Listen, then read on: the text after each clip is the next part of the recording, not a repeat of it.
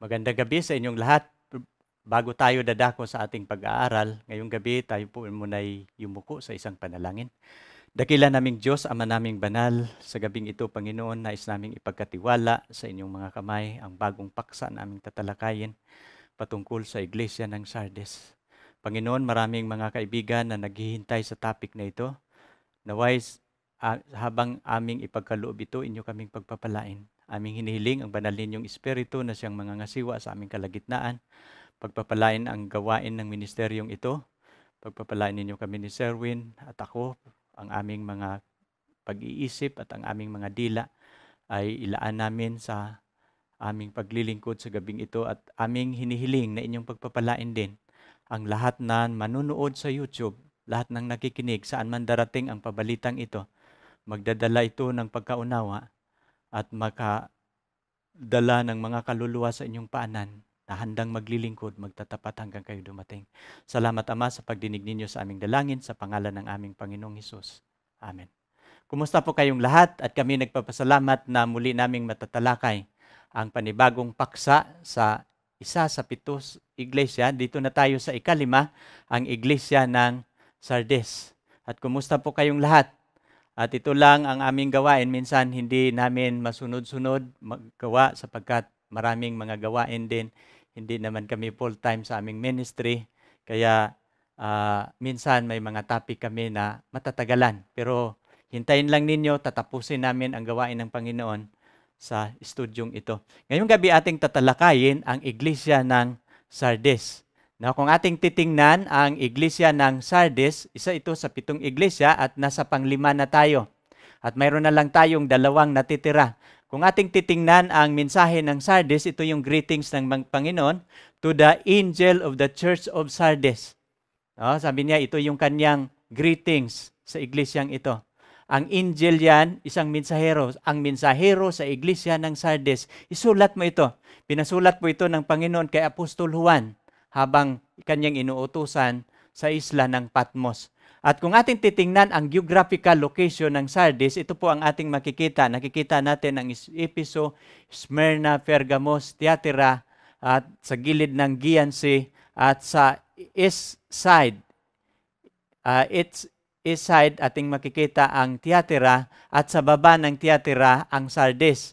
Kung ating titingnan din ang remain, kung saan ang, ang mga lugar, kung saan ating makikita ang natitira sa panahon natin ngayon, ito yung Sardes. Pagpasok natin sa lugar ng Sardes, mayroong isang malaking bulubundukin na ating makikita at ang taas ng bundok ay is around 6,700 feet mula sa ibaba. At sa baba ng bulubunduking mataas, mga around 1,500 makikita natin ang syudad na dating syudad ng Sardes. At ito po'y tinatawag, noon hindi yon Sardes ang tawag sa panahon pa ni Cyrus, no, sa panahon ng Persia. Iyon po ang sentro ng Lydian city ng Lydia, no? At it be, ang Sardis noon tinatawag it becomes the capital city of Lydian Empire sapagkat diyan po ang sentro ng Lydian Empire noon. At sa lugar na yan, yan po ang pinakamayaman na lugar sa kapanahonan nila, uh, uh, sa panahon ni Cyrus sa Persia.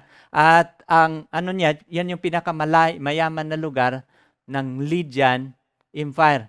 At yun sa ngayon, sa panahon ni Jesus Christ, na bago po ang pangalan niya sa Sardis.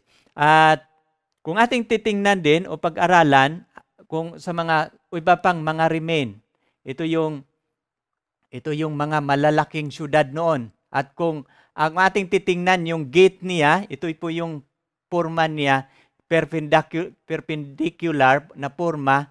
Ito po yung ano, pinaka-gate ng Lydian Empire na tinatawag at mahirap po yung malusob ng mga kaaway. Kung ating titingnan ang larawan ng mga naglalarawan kung ano ang dating kalagayan ng Sardis, ito po yung kanyang larawan. Mahirap lusubin ng kaaway. Kaya nga, nababalot, na, nababalot yan sa isang ano, pader na kung saan hindi malulusob ng kaaway. Ngunit si Cyrus, pinag-aralan ni Cyrus paano niya matatalo ang Lydian Empire sa kanyang kapanahunan, nagpadala po siya ng spy, minam, pinamanmanan ang lugar ng Sardes kung paano niya tatalunin sa kanyang paglusob na ang ang Lydian Empire matatalo niya sa digmaan. Pero mapapansin ninyo, no, habang habang minamanmanan niyan ng sundalo ni Cyrus, isang gabi, isang araw, habang nagkukwentuhan ang dalawang sundalo no, sa tower ng ng lugar na yan ay mayroong ang isang sundalo nahulog ang kanyang helmet. Nung nahulog yung kanyang helmet, binamatyagan ito ng spy kung saan dadaan sapagkat wala silang nakikitang daan nung tinitingnan nila yung pader. Pero nung nang nakikita nila, no? Nakikita nila ang sundalo ay dumaan sa isang daan at kinuha niya yung kanyang helmet at nagugulat yung spy na ito pala ang sekretong daan paano makapasok sa loob ng ng syudad. Kaya nga ay na napag na, nalaman nila kung paano nila lulusubin at nilusob yan ni Cyrus at ang kanyang mga kasundaluhan at sa taong yon na natatalo ang Lydian Empire sa kanilang kapanahunan. At mula noon, hindi na naitatayo muli ang ang siyudad na yan at sa panahon ni Jesus Christ, sa panahon ni Juan, sa panahon ni Apostol Pablo na siyang nangangaral doon ay ang pangalan sa lugar na yan ay tinatawag na Sardis. Ating pag-aralan din sa gabi at maraming mga manunulat na kung saan mayroong kuwen, kuwen na ginagamit, mga barya na ginagamit, ginagamit sa pagbili. Ang mga manunulat ay pinaniwalaan nila na kung mayroong mga coin na ginagamit sa buong daigdig, sa buong mundo, ay sa lugar ng Sardes nagmumula ang unang mga coin na ginagawa bilang ginagamit pambili. At kasunod, ating pag-aralan din ang identification sa sumusulat sa aklat ng Sardes kung paano pinakilala sa Biblia ang ang sulat kung saan saan ba ito nanggagaling. Ating pag-ating titingnan ang chapter 3 verse 1, This thing see who has the seven spirit of God and the seven star. Kung ating unawain, kung ating titingnan ang chapter 3 verse 1, sabi niya ito yo, ito ang mga bagay ng sinasabi na sinasabi ng mayroong espiritong pitong espiritu ng Diyos at pitong bituin. No, kung ano bang ano bang ibig sabihin ng pito? No, malag, palagi ko na itong ano, pag magbabanggit ang Biblia ng seven spirit of God, ito po ibig sabihin that it signifies complete power of His Spirit. At bilang mga mananampalataya, ang isang mananampalataya na walang espiritu ng Diyos ay wala pong kapangyarihan. Ay uh, ibig sabihin, kapag ipapadala ng magpapadala siya ng sulat ay siya ang pinanggalingan ng pitong espiritu na nagbibigay buhay sa bawat iglesia. At sa totoo lang, ang iglesia patay kung wala ang espiritu ng Panginoon. Ang seven spirit signifies the complete power of His Spirit. No? At ano naman ang sinisimbuluhan sa seven star? Nagsimbolo po ito ng mga mensahero sa pitong iglesia, ang buong kasaysayan ng iglesia mula sa Episo hanggang sa Laodicea, hawak po ng sa kamay ng ating Panginoong Hesus. Kaya pag titingnan natin ang kanyang larawan, siya po ang may hawak ng pitong bituin. Now ngayon ating titingnan ang kasunod na talata. Ito po yung masusulat natin sa uh, sa 3 verse 1. Sabi niya dito, ang kondisyon. Ano naman ang kondisyon sa iglesyang ito? Ating titingnan ang kondisyon ng iglesia. Ito po yung nakasulat sa 3.1. I know your work, that you have a name, that you are alive, but you are dead. Sabi niya, ating mapapalaging mapapansin yung pinaka-keyword sa bawat sulat sa bawat iglesia. Kung mayroong sulat ang Panginoong Hesus sa, bawat, sa pitong iglesia, bawat iglesia ay tinitingnan ng ni Jesus Christ ang kanilang mga gawa. Nalalaman ko ang iyong mga gawa na ikaw mayroong pangalan na ikaw ay buhay, ngunit ikaw ay patay. Na kung ating titingnan, uh, kakaiba ang kalagayan niya. Ang kanyang pangalan, buhay, pero ang tunay niyang kalagayan, siya po pala ay patay. Kung ating pag-aralan ang pitong iglesia, dalawa pong uring iglesia dito kung saan ang Diyos hindi nagbigay ng papuri. Ang igli, kaya nga, two churches that receive no praise. Ang una ay ang Sardes. Kung ating titingnan, hindi pinupuri ng Panginoon ang kanyang mga gawa. Kasi ang iglesyang ito, ang kanyang pangalan, pangalan niya, siya ay buhay. Pero ang tunay niyang kalagayan, siya ay patay. Ganon din sa Iglesia Laodicea. No? Nag, ang Iglesia Laodicea, nagsasabing siya mayaman, pero siya pulubi. So, in contrast ang kanilang kalagayan. Ano man ang kanilang pinagmalaki, ay hindi ang tunay nilang kalagayan. Kaya kung ating pag-aralan din, ang, di ba, tinuto na, na man, nasubaybayan ninyo ang aking aral patungkol sa aklat ng Daniel, kung ating maunawaan ang Daniel to, madali nating maunawaan ang chapter 7. Ganon din ang konsepto o paraan sa pag-aaral natin sa chapter uh, mga chapter sa mga pitong iglesia. Kung ating pag-aralan, kung ating titingnan ang kandelero ng Panginoon sa seven candlestick, ito po yung magkakatuwang. Ang unang iglesia kung saan ang Episo, ito po yung pundasyon ng iglesia. Ang chapter 2 at saka chapter 6, sila po yung magkakatuwang sa kandelero ng Panginoon. Kaya nga, ang, ang ano dito, ang chapter 2 at saka chapter 6, ito pong iglesia na ang si Jesus Christ wala pong na, nasasabing mapupuna wala po silang kahinaan. Ang kanilang ginagawa puro mabuti. No? Wala silang ginagawa na ano. Kaya ito pong iglesia na kung saan wala siyang ano, uh, puna na maipupuna sa iglesia. Ang chapter 3 at saka chapter 4, no, magkatuwang din yan sila. No, ganun ganun yung ano, ang mga doktrina ang doktrina ng ng Nicolaitan at doktrina ni Balaam at pagdating sa chapter 4, ang doktrina naman ni Jezebel pumapasok sa iglesia. At pag nating pag-aralan ang chapter 5 at saka chapter 7, dito naman ang dalawang iglesia na wala siyang maibibigay na papuri. Kaya mapapansin ninyo, ang pitong iglesia, katulad yan sa pitong kandilero.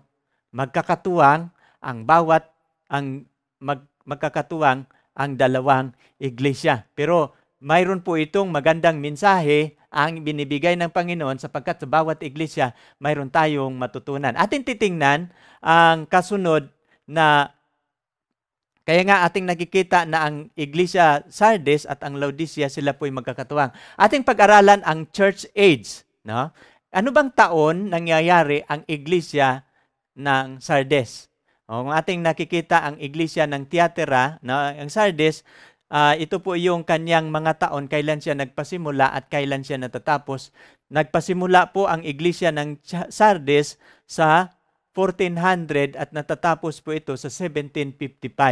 Ito po yung kanyang church age. Kung atin titingnan ang, ang kasaysayan ng Tiatira, ang kasaysayan kasi ng Tiatira, yung church ang, at, at, at saka ang estado nagkakaroon ng union at ang church ang ano, siya ang namamahala sa estado sa panahon ng papacy, yung papal supremacy na ating pinag-aralan. Kasi ang papal supremacy nag-umpisa sa 538, natapos sa 1798. Ngunit itong iglesia ng Sardes, nag-umpisa siya sa 1400, natatapos naman siya sa 1775. No? Maraming mga nag-iisip, bakit ang iglesia ng Sardis na papaloob sa pamamahala ng papasi. Kung ating pag-aralan, kaya nga true church in the wilderness, kasi kung ating titingnan, ang iglesia ng Sardis, ito po yung kasaysayan sa mga reformador.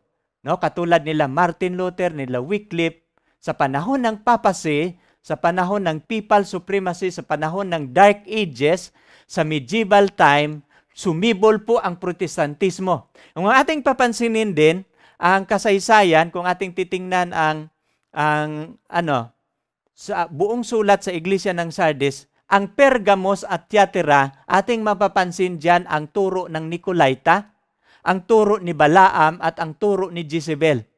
Pero napapansin ninyo, sa Iglesia ng Sardes, wa hindi po binabanggit ang ang doktrina na ang doktrina ng Nicolaita, ang doktrina ni Balaam at ang doktrina ni Jezebel.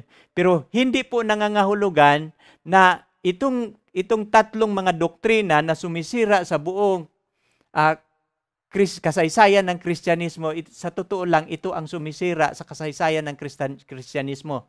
Nang ang Christian history, pumapasok ang doktrina ng Nicolaita, doktrina ni Balaam at ni Jezebel, ay halos lahat ng mga katotohanan ay naalis sa kasaysayan at kakaunti na lang ang natitira. Kaya nga, mapapansin ninyo, nap, napakalaki ang problema sa iglesia ng Sardis. Kaya nga yung word na Sardis, which, that which are remain, kasi kukunti na lang ang katotohanan na natitira. Nang pumasok ang doktrina ng Nicolaita, Balaam at ni Jezebel, ito po'y nagsupplant sa mga katotohanan. Pumasok po ito sa iglesia, at ito ang nagiging turo ng simbahan, ang katotohanan ay nawala. No? Ibig sabihin, sa panahon ng Dark Ages, that is the time of Christian paganize. Marami ang turo ng tradisyon, mga paganismong turo na pumapasok sa iglesia. Pero hindi nangangahulugan na sa panahon ng Sardis, hindi nag-exist ang mga turong ito. Kung ating titingnan, no, uh, gusto kong itatopic ngayong gabi ang chapter 17 ating na natutunan sa daan sa nag uh, turo ko sa nagdaang topic ko na ang ang tiatira ito po yung spiritual Jezebel na kung saan ating mababasa sa chapter 17 kung ating babasahin ang 17 gusto kong mayroong tatlo tayong talata na ating babasahin. Sa verse uh, chapter 17 verse 4 the woman was arrayed in fourfold. Ito yung spiritual Jezebel no, sa panahon ng Dark Ages, purple and scarlet, and adorned with gold and precious stones, and pearl, having in her hand a golden cup of abomination and filthiness of her fornication. Mapapansin ninyo, ating nakikita ang larawan na ang, ang iglesyang iyon, nakasakay siya sa hayop at nakadamit siya sa purple at sa scarlet. Ito yung paboritong kasuotan ng mga obispo at mga cardinals. Mapapansin natin, at ah, napapaliwanag ko niya, sa kanyang kanang kamay, may hawak na kupang ginto na, naglala, na, na naglalaman ng kanyang mga doktrina no? Mga stones pearl having in her hand a golden cup full of abomination and filthiness of her fornication. Mga doktrina po yan ng simbahan na nagiging pinakaturo nila. Sa verse 5 ating titingnan ang verse 5 on her forehead a name was written mystery babylon the great the mother of all harlots of the abomination of the earth. Aking it, it, it, it, aking i-underscore dito na ang nakasulat sa noo ng babae, mapapansin ninyo na nang nakasulat sa kanyang noo, ano ang nakasulat sa kanyang noo na pangalan? Mystery Babylon the Great, the mother of all harlots, of harlots and the abomination of the earth. Uh, kung ating titingnan, ang babaeng ito, kasi sa Apokalipsis, dalawang babae lang ang mayroon dyan. Ang unang babae na nagdamit araw sa chapter 12. At ang babae na nakasakay sa hayop no? mapapansin ninyo ay na nakasakay sa hayop, marami din siyang anak. Ang chapter 12, mayroon siyang anak na lalaki. At ang lalaki, um, ang anak niyang lalaki umakyat sa langit at naghahari sa may pangpalo, um, ano, the rod of iron. Mapapansin ninyo, umakyat sa langit ang anak niya, lalaki. Pero mapapansin ninyo dito sa chapter 17, isang babae na nakaupo sa hayop, pero ano ang kanyang anak? No? Mapapansin ninyo ano ang nakasulat sa kanyang noo, Mystery Babylon the Great, the mother of harlots. No? Ang, ang, ang babaeng ito, marami po siyang mga anak. At ang mga anak niya, mga patutot din. No? I, i-underscore ko ito, sa, tandaan ninyo ito, na ang babaeng ito marami siyang anak at sa gagabing ito ating pag-aralan, sino ba itong mga anak ng mga babaeng ito? At bakit ang kanyang anak mga harlots din? Kasi nang sumibol ang protestantismo, ay hindi po tumitigil ang, ang kapapahan ay ang mga ang mga iilan karamihan sa mga protestantismo na sumibol sa panahon ng medieval times ng papacy nagiging anak din ng ano iglesyang ito. At inyo nang subaybayan na hanggang sa matapos aking i subukang maidetalye ngayong gabi ay inyong matutunan paano ba ang babae sa chapter 17 nanganganak ng maraming mga anak ngunit ang kanyang anak hindi lalaki. Ang kanyang anak babae na mga patutot din. No? At ano din? And of abomination of the earth nagbigay sila ng ano, mga harlot na nagbigay sila ng abomination sa lupa. And I saw the woman sa verse 6 And I saw the woman drunk with the blood of the saint and with the blood of the martyrs of Jesus. And when I saw her, I marveled with great amazement. Yan ating ano yan? Hindi yan napapal hindi yan nakalagay sa iglesia ng Sardis, ngunit sinama ko ito sa aking presentation kasi gusto kong ipapaliwanag ngayong gabi paano ba ang spiritual Jezebel nagkaanak ng maraming mga babae. Paano ba yan nagpasimula sa kasaysayan? At sino ba itong mga anak niya? Tutunghayan natin ito ngayong gabi at inyong matutunan. No, kung ating pag-aralan, ang kasaysayan ng Sardis, ito po yung kasaysayan ng mga ano, rep mga ano reformasyon sa panahon ng medieval time. Dito po bumangon ang ang Protestant Reformation. Ito po yung panahon na ang mga protestante nagprotesta na sa ginagawa sa korupsyon ng kapapahan. At kung anyong nakikita yung larawan, ito yung si Martin Luther, mayroon po siyang 95 ka mga thesis, pag-aaral no, tinapatan niya ang mga turo ng simbahan, pinatunayan ni Martin Luther na lahat ng turo ng simbahan ito po'y non-biblical, ito po'y wala sa Biblia at ito po'y tradisyon at hindi po dapat susundin. Kaya nga pinadikit niya, pinapako niya ang mga thesis na ginagawa ni Martin Luther. Ito yung mga reformador na bumalik po sila sa Biblia, no? Ngunit ang mga protestantismong ito ay hindi nag ang unang mga protestantismo noon, ngunit ngayon ay kakaiba. Magkakaiba ang protestante noon at ngayon. Kaya nga, at paano natin yan, ano, ating titingnan ang problema ng iglesyang ito. Atin nang nalalaman ang kanyang kondisyon, dito tayo sa problema. Ano ba ang problema ng iglesyang ito sa Sardes? Kung ating titingnan ang problema niya sa verse 2 ng chapter 3. Anong sabi ni Jesus Christ? Be watchful and strengthen the things which remain, that are ready to die, for I have not found your work perfect before God. Anong sabi ni Jesus Christ? Sabi niya, mag, ano, be watchful and strengthen the things which remain. Sabi niya, magmatsyag ka, mag-ingat ka, at palakasin mo, no, sabi niya, at patibayin mo ang mga bagay na natitira. Kasi Kukunti na lang ang katotohanan sa panahon nila. Sa panahon ng Council ng Tulos, ang Biblia sa noon sa panahon ng uh, 10 o 11th century pinagbabawal ang Biblia, sinusunog, kinakonfiscate ang lahat ng Biblia at wala nang natitira. At ang pinahintulutan lang makabasa sa Biblia ay ang mga mga clergy lang. Ang mga pari lang ang makabasa ng Biblia. Lahat ang mga laity o ang mga ordinaryong tao ay pinagbabawal ng makabasa sa Biblia. Na mapapansin ninyo, kukunti lang. Noon, mayroong mga 500 translation ang Biblia, ngunit sinunog lahat yon ang itinitira, Latin na lang. Kasi pinagbabawal sa publiko ang Biblia ng ano, na mamahala ang papal supremacy sa panahon ng Dark Ages. Kasi ang Dark Ages mula 538 natatapos sa 1798. Ngunit sa 1400, no, sa 1100 sumibol ang ang ang mga reformasyon. Kaya nga sa mga ito yung sa kasaysayan kung ating babasahin yung Centuries of Christianity, no, sa Concise History page 58. Kung ating babasahin, on the contrary, hordes of baptized pagan uh, meant that paganism had diluted the moral energies of organized Christianity to the point of impotence.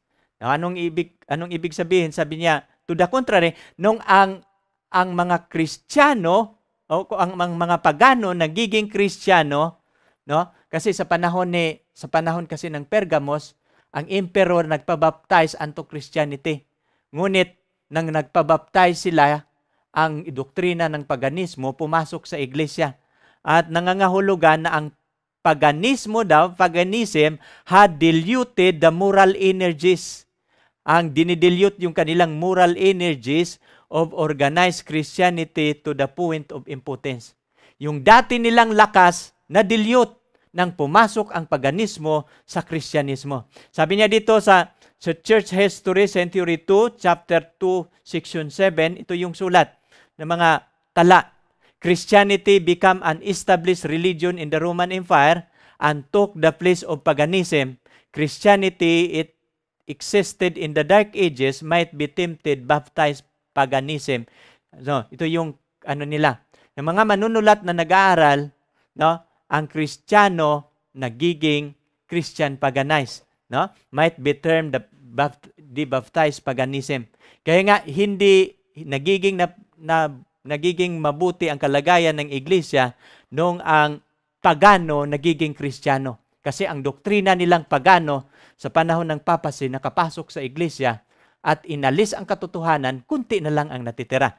Ngayon, ako ating titingnan yung larawan, ito yung mga namamahala sa iglesia. Yung mga praile nila. No? Mapapansin ninyo, at habang sila namamahala, marami silang mga turo na pumasok sa iglesia. Anong mga turo yon? Pumapasok ang tradisyon. Yung ini-introduce din nila yung mga penance. Ano ba yung tradisyon? Atin na nalalaman yung mga tradisyon. Ang dating Sabado na utos ng Panginoon, pinalitan ng tradisyon, ginawa na nila ang araw ng pagsamba na linggo. Pero sa panahon ng Israelita, sa panahon ni Jesus Christ, Sabat ang kanilang araw ng pagsamba, nang pumasok ang tradisyon, binabago na sa linggo. Ano naman itong penance? No, ang penance, ito po ay ano, self-punishment for sin. Kaya mapapansin ninyo, na sa at sa kasaysayan ngayon na mapapansin ninyo pag Simana Santa, mayroong mga taong nagpapapako sa krus, mayroong mga taong nagpapalo, no, nagprosesyon, pinapalo, no, hinuhubaran, at mayroong mga taong nagla, naglalakad na hubad ang mga paa, naglalakad sila papunta sa pinakamalapit na gruto. Saan ba yan nagmula sa kasaysayan? Ang sa kasaysayan yan, sa panahon ng medieval time ng papacy, tinuturo nila ang penance No? At mapapansin ninyo ay mayroon silang tinuturong purgatorio. Ang kaligtasan ay ay napakamahal sapagkat kung hindi ka magbabayad sa iglesia, ay hindi malilipat ang kanilang kaluluwa sa purgatorio. Kaya nga ano bang kahulugan ng penance? Tiningnan, tinang tiningnan ko sa Encarta, self-punishment or an act of religious devotion performed to show sorrow for having committed sin. Pero yan ba ang turo ng Biblia na ating saktan ang ating sarili para mapatawad ang kasalanan? No, that is human way of salvation. No? That is man-made na turo at hindi po yan turo ng Panginoon sa Biblia. No? Duty to impose by press. No? Mga duty na ini-impose ng mga pare. Duty of religious devotion imposed by priest during the sacrament of confession in some Christian churches na mga babapansin niyo sacrament of some Christian churches in which, in which person confessing to praise and to forgive after performing the religious devotion or duties such praying or fasting. Kung ating titingnan naman, ano ba itong indulgence? Atin naman pag-aralan itong indulgence sapagkat ito din pumapasok sa iglesia. Pumapasok ang tradisyon, mga penances at saka indulgence. Ating pag-aralan ang indulgence. Kung ating titingnan sa Inkarta, Kinuha ko ang meaning niya sa Encarta, no, sa Microsoft Encarta. Sabi niya dito, ang indulgence, remission of punishment of for sin. A Roman Catholicism granting by the Pope of partial remission of time to be spent in purgatory or some other consequence of a sin in the Middle Ages, a practice of selling indulgences grew up. Na mapapansin ninyo, mayroong mayroong panahon ng binibinta ang indulihensya. Tinuturo nila sa iglesia na kapag mayroong mamamatay, hindi po siya aakyat muna sa langit, doon muna siya sa limbo-limbo, yung, yung purgatorio. At kapag nandoon siya sa purgatorio, hindi siya malipat kung hindi mo babayaran ang kanyang kasalanan sa iglesia. No, anong ibig sabihin? Kapag mayroong mamamatay sa inyong pamilya, ikaw na buhay, kailangan mong magbabayad para mailigtas ang iyong pamilya. Kasi siya wala pa sa langit, wala pa sa imperno, nasa purgatorio pa. At kapag babayaran mo ang kanyang kasalanan, lilipat yan sa langit. Yan po isang kalukuhan na ginagawa ng iglesia. Yun po indulgences at ano yon? At alam niyo kung anong ginagawa nila sa pera sa kanilang kapanahunan ginagawa nila ng St. Peter Basilica. No, yun yung unang St. Peter Basilica. Marami pong mga ano uh, ang ang ginagawa nila diyan ay galing po yun sa mga turo nila na wala sa Biblia. Ano pa? Yung mga images, ang mga tinuturo, tinuturo nila na kap, ang, laha, ang mga tao ay ma, ano, magbigay galang sa mga santo. No? Kaya nga gumagawa sila ng maraming mga ribulto. Kaya nga mapapansin ninyo hanggang sa ating kapanahunan ngayon, ang mga tao kapag pupunta sa simbahan, hihipuin nila ang paa ng mga santo, hahalik. Kasi sa panahon ng medieval time, tinuro nila paano igagalang ang mga ribulto. Kaya nga marami silang dinideklarang santo. Kaya nga pinakamaraming santo papa na dinideklarang santo si John Paul II. Kasi halos na iba't ibang mga bansa nilag, binigyan niya ng nilagyan niya ng mga santo kahit ang ating Pilipinas mayroon tayong santo na ano sa Pilipinas si Pe- Pedro Calungsod no? At yung isa pa. Ngayon nating titingnan din ang yung hierarchy. Tinuturo din yon sa kanilang simbahan. Yung hierarchy a formally rank group na? At ito po formal grading of group. Katig ano dito, organization group whose member arranged in rank. Kaya nakaano yon ang, ang pare, mayroong mataas sa pare, no? Archobis, ang obispo, mayroon pang mataas sa obispo at ano, archobispo at mayroong cardinals at mayroon pang mataas sa cardinals. Kaya nga yun yung mga hierarchy, ginaga, yun yung po ang ang organization paano ginagalang ang mga leader ng iglesia.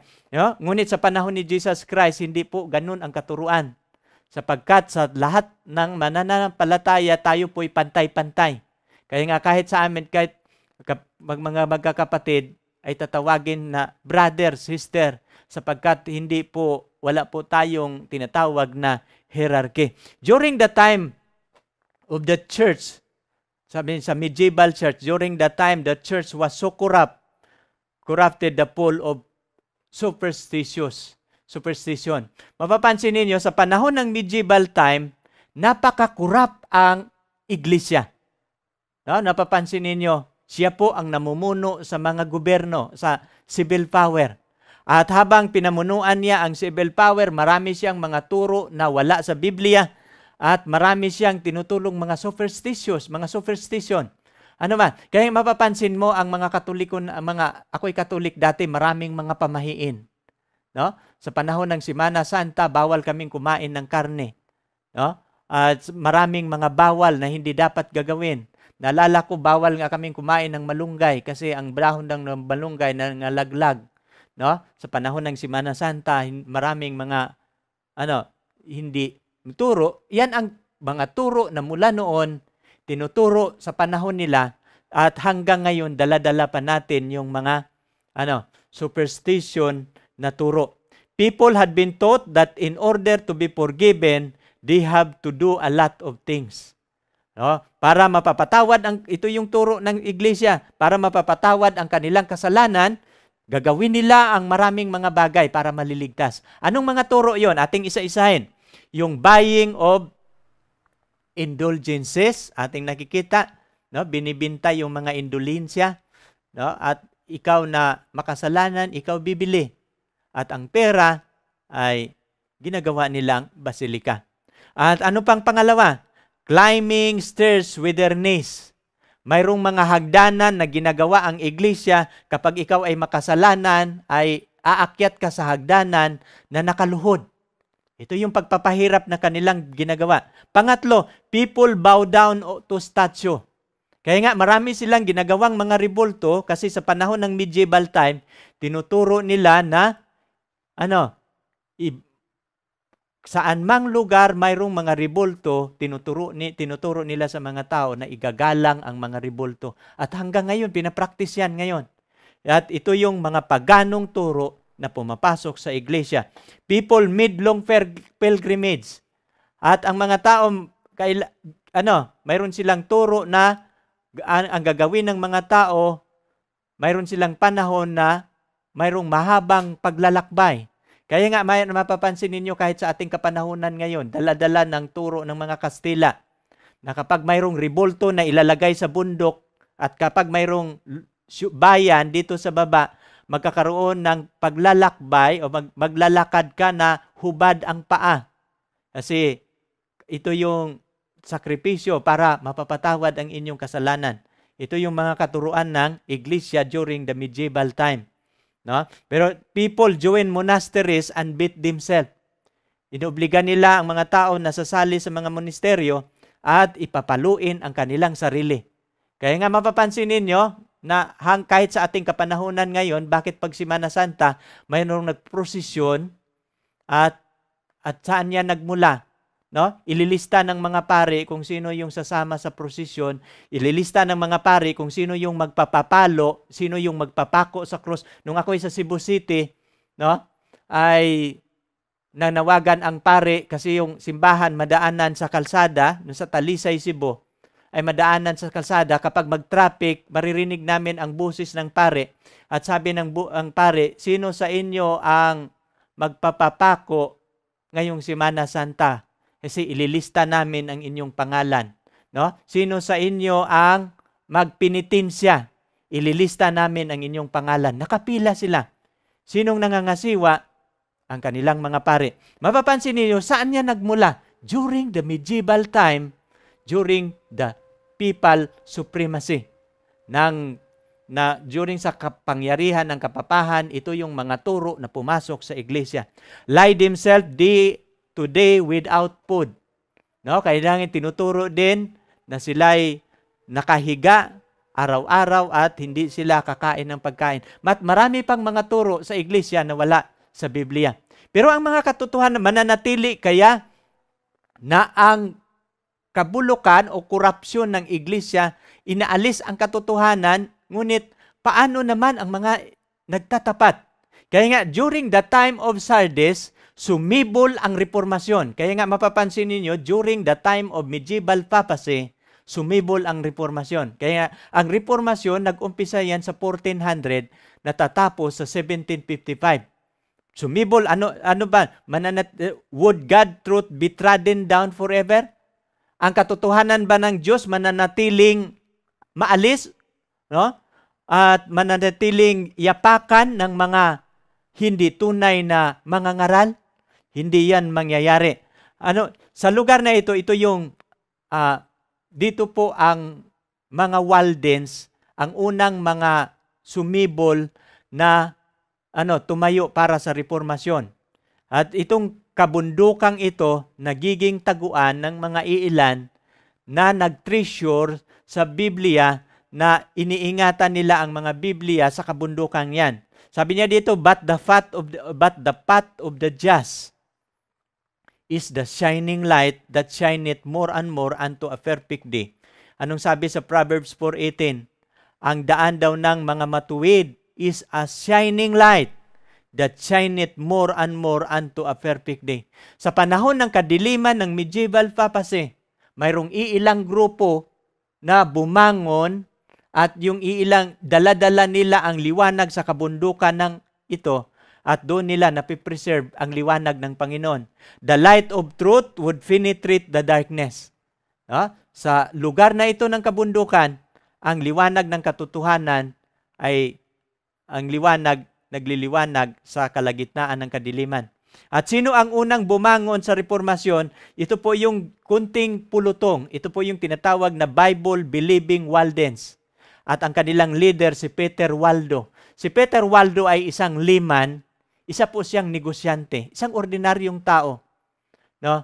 Ngunit siya po ay mayroong kayamanan, ngunit ang kanyang kayamanan, nang nakikita niya ang korupsyon ng iglesia at mayroon siyang kayamanan ay ano, pinagsikapan niya na ang Bibliang Latin may susulat ito sa ordinaryong lingwahe at may babahagi niya sa lahat.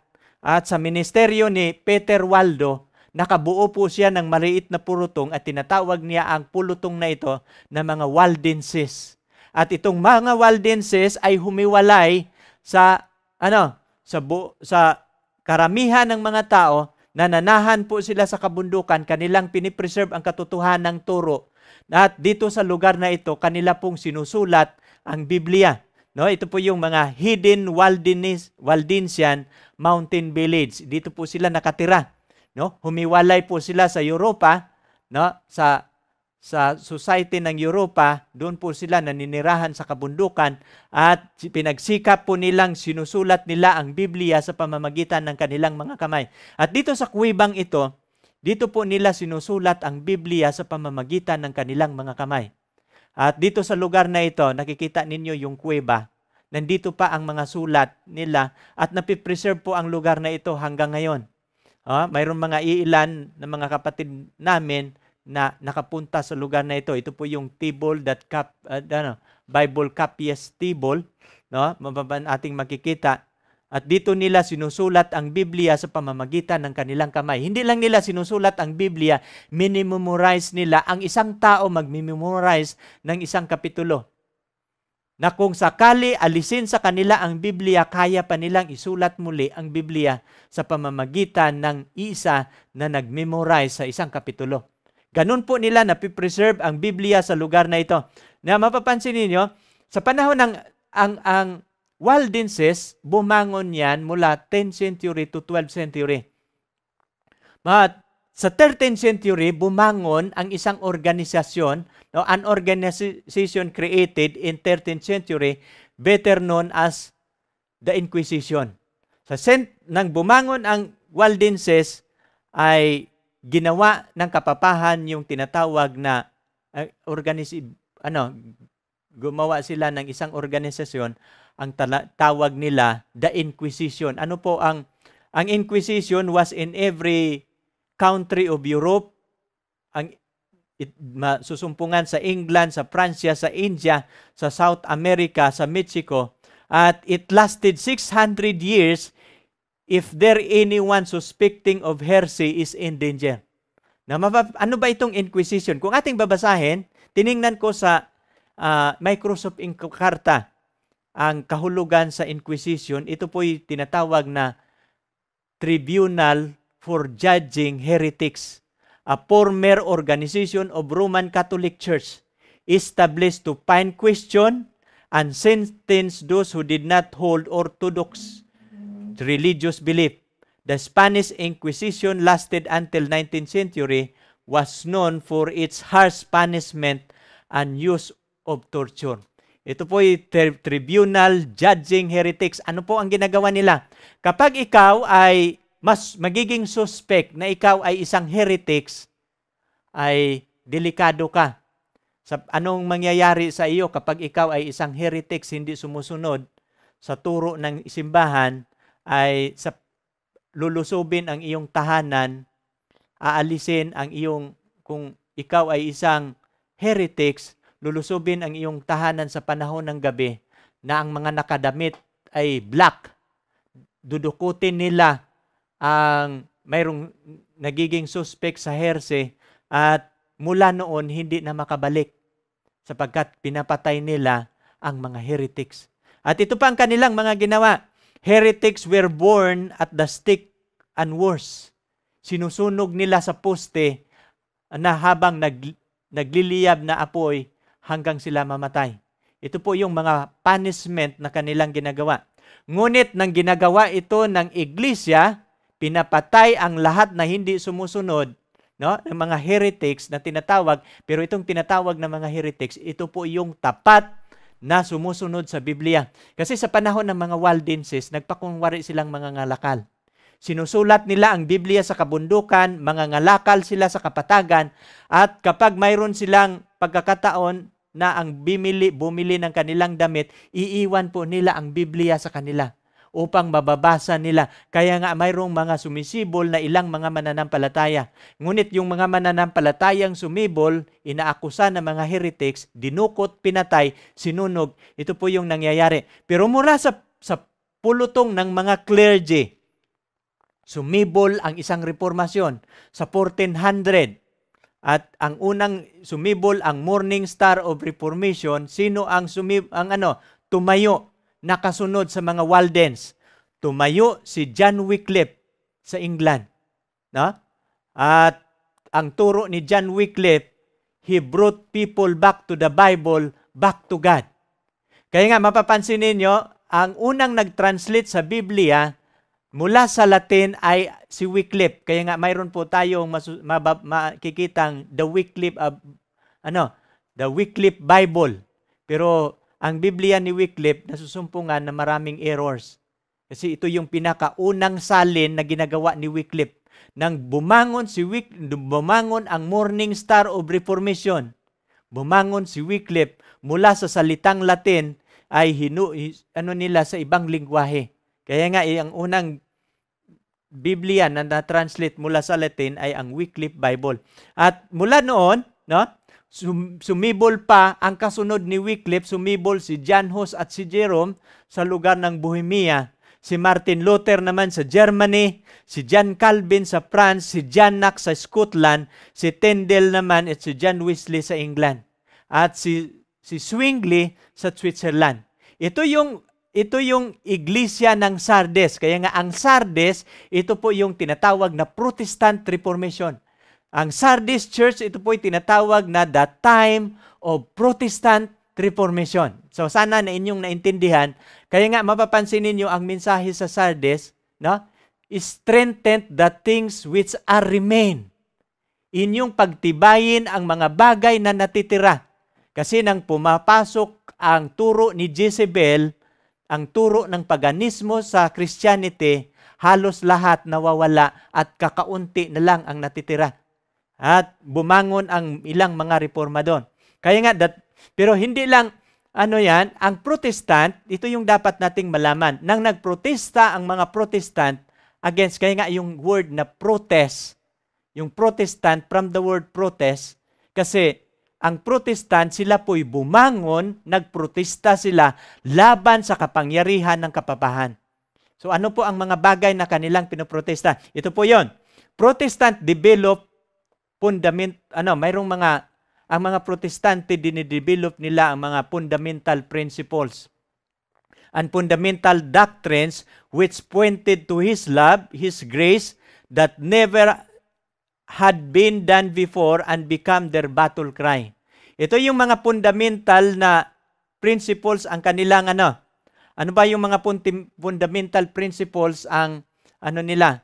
Yung na tinayo yung kanilang doktrina. Dito po ang mga uh, maliban sa fundamental principle, mayroon ding mga fundamental doctrines at itong mga fundamental doctrines pointed to His love, pointed to His grace na hindi tinuturo ng kapapahan na become their battle cry. Ano ba ang sigaw ng mga protestantismo?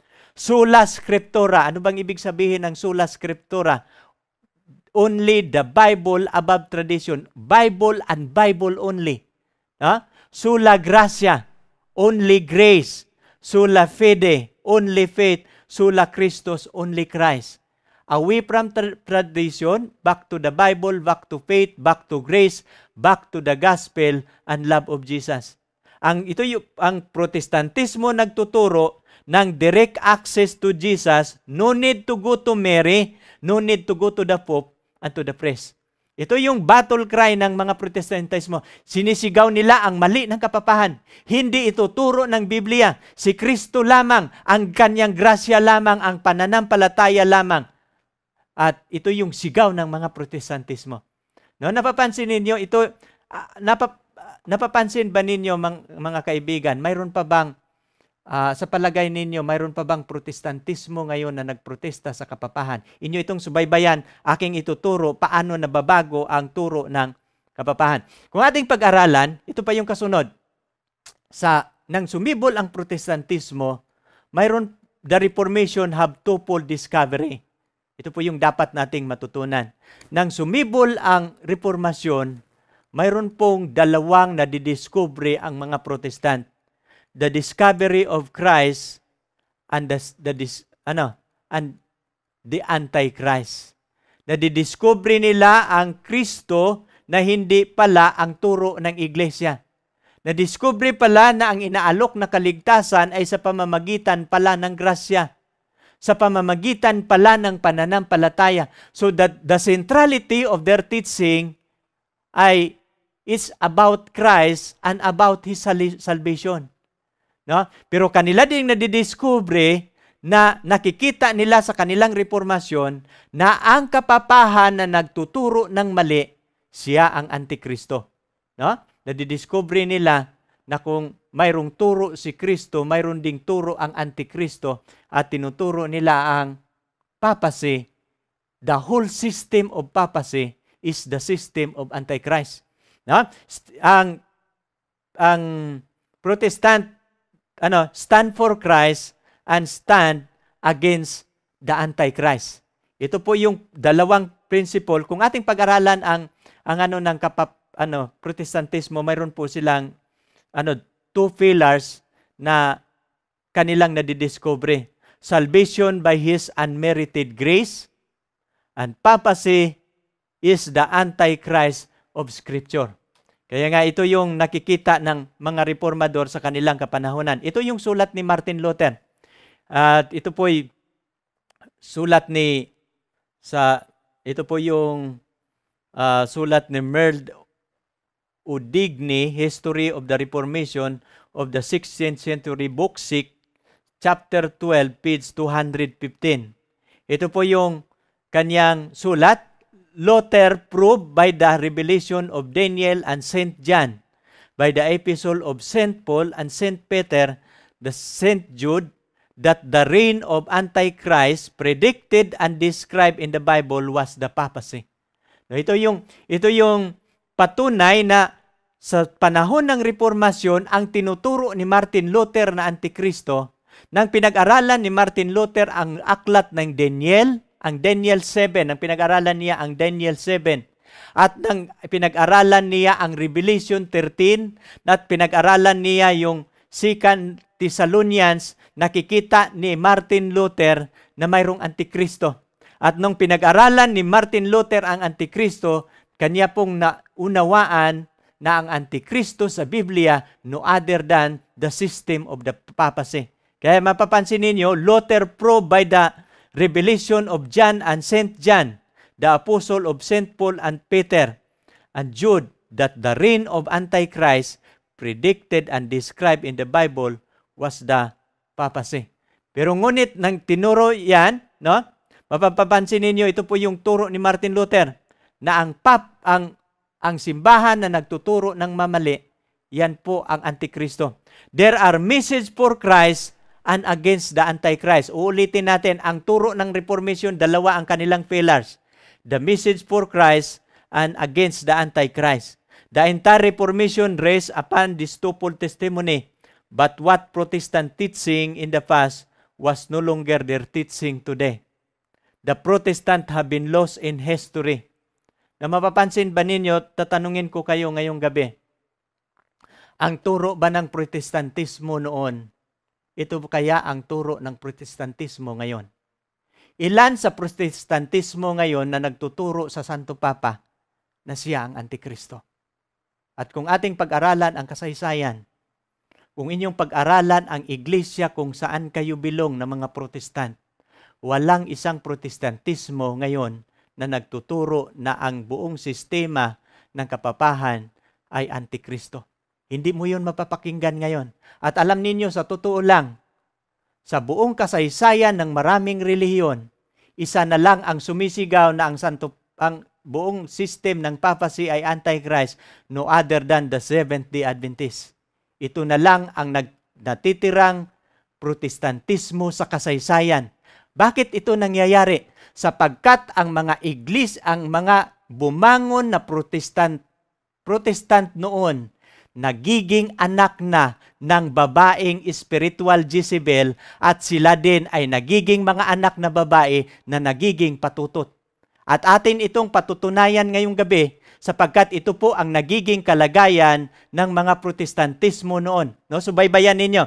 So, mapapansin ninyo, taught by the Protestant that the papacy is the Antichrist. Ito yung turo ng mga protestantismo noon na ang papacy is the Antichrist. Sino itong mga nagtuturo ng bumangon ang Protestant? Kung inyong titingnan ang mga founder ng Baptist, no? ang founder nila, anong turo ng kanilang founder? The papacy is the Antichrist. Ang Methodist, kung inyong titingnan ang Methodist, ang unang turo ng kanilang founder, ang papacy is the, ano, the anti, was the Antichrist. You know, ang, ang Lutheran, ang Presbyterian, and was there, ito yung turo nila 400 years ago, pero ano na ang turo ng Protestantismo ngayon? nagkakaroon na ito ng paradigm shift, nagkakaroon ng pagbabago at mamaya ating pag-aralan kung bakit ito nagbabago. Kung ating titingnan ang mga protestantismo noon, katulad nito, katulad sa eroplanong ito, kung ating uh, kung bibigyan natin ang pangalan ang eroplanong ito, pwede nating tatawagin the Protestant Airways. No? Ito yung Protestant mula sa Vatican, mula sa Europa, lumipad ang eroplanong ito papuntang Amerika. Ngunit habang sila nasa kalagitnaan ng kanilang paglalakbay, nagkakaroon ng matinding storm. At dahil sa matinding storm, ay nagkakaroon ng diversion, changing course. At sinasabi ng kapitan ng Erop- ang pilot ng eroplano, nagkakaroon po tayo ng problema at hindi po tayo makakarating sa ating paruroonan.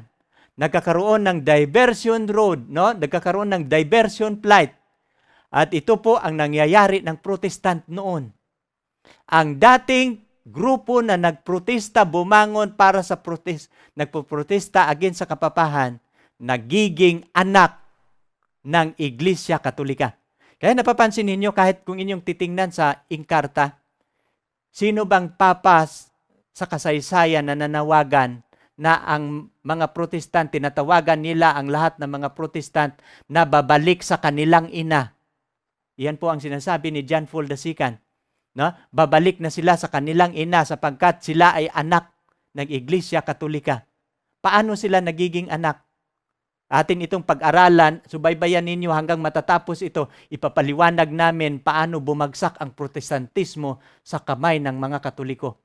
At ang mga protestantismo nagiging anak ng ano, spiritual Jezebel. Kaya nga mapapansin niyo ang mayroong pangalan na nakasulat, no?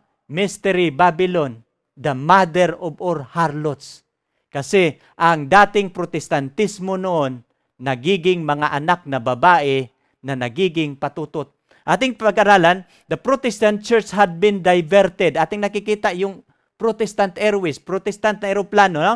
Ating nakikita. At ano dito? The Protestants has been diverted. Ang kanilang paglalakbay mula uh, lumipad sila mula sa Vatican papuntang Amerika kasi ang Amerika ito yung lugar ng Protestantismo ngunit nung nagkakaroon ng matinding storm, nag-change ang kanilang course bumalik uli sila sa Vatican.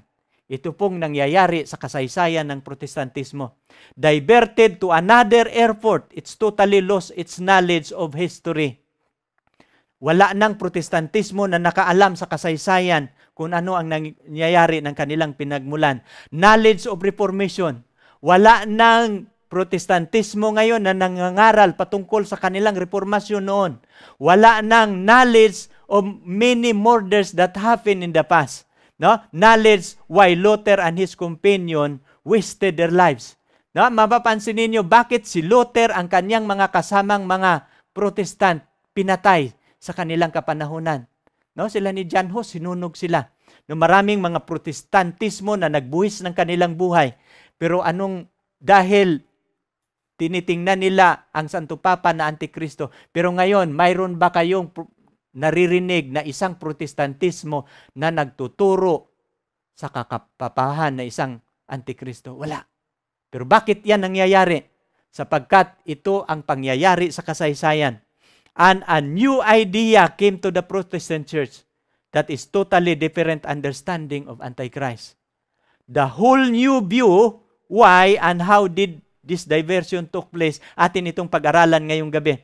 Bakit ang bagong idea ating pag-aralan, ang idea doon, ang, ang kasaysayan ng protestantismo noon, bakit iba ang idea ng kasaysayan ng protestantismo ngayon? No, napapansin ba ninyo ngayon ang isang sikat na movement ngayon na gumagalaw sa buong mundo, yung tinatawag na John 17 movement? Ito yung grupo ng mga protestantismo na nanawagan sa pagkakaisa. At sino ang nangunguna sa kanilang pananawagan? Ay ang Vatican. Ang Vatican na nawagan na ang buong mundo magkakaisa at ang buong protestantismo ngayon na nawagan sa pagkakaisa. At itong movement na ito is a dangerous movement. The 17 John 17 movement. Mamaya ipapaliwanag ko yan at kung paano yan nangyayari. Paano nangyayari itong idea ng mga Protestant nagiging totally different the understanding of Antichrist. Paano ba ito nangyayari? Kaya nga pag ating titingnan ang iglesia ng Sardis, kung ating babasahin yung verse 2, ating makikita sa verse 2, ating babasahin, Be watchful and strengthen the things which remain that are ready to die, for I have not found your work perfect before God. Sabi niya, pag-ingatan at patibayin mo ang mga kakaunti na natitira. No? Na, ano na, malapit nang mamamatay sapagkat wala akong nakikita na ano, perpektong mga gawa sa aking paningin. Ito yung sabi ng Panginoon. Paano ba ito nangyayari na pro, dating protestantismo noon ay bumalik ang kanilang ano, suporta sa papasi ngayon? Mayroong dalawang konsilyo at ito po'y tinatawag na the Council of Trent. O, kailan ang Council of Trent, ito po yung nangyayari sa northern part of Italy. Mayroon pong isang lugar ng Trent at dito po sinasagawa nila ang isang konsilyo at tinatawag po itong konsilyong ito na Council of Trent.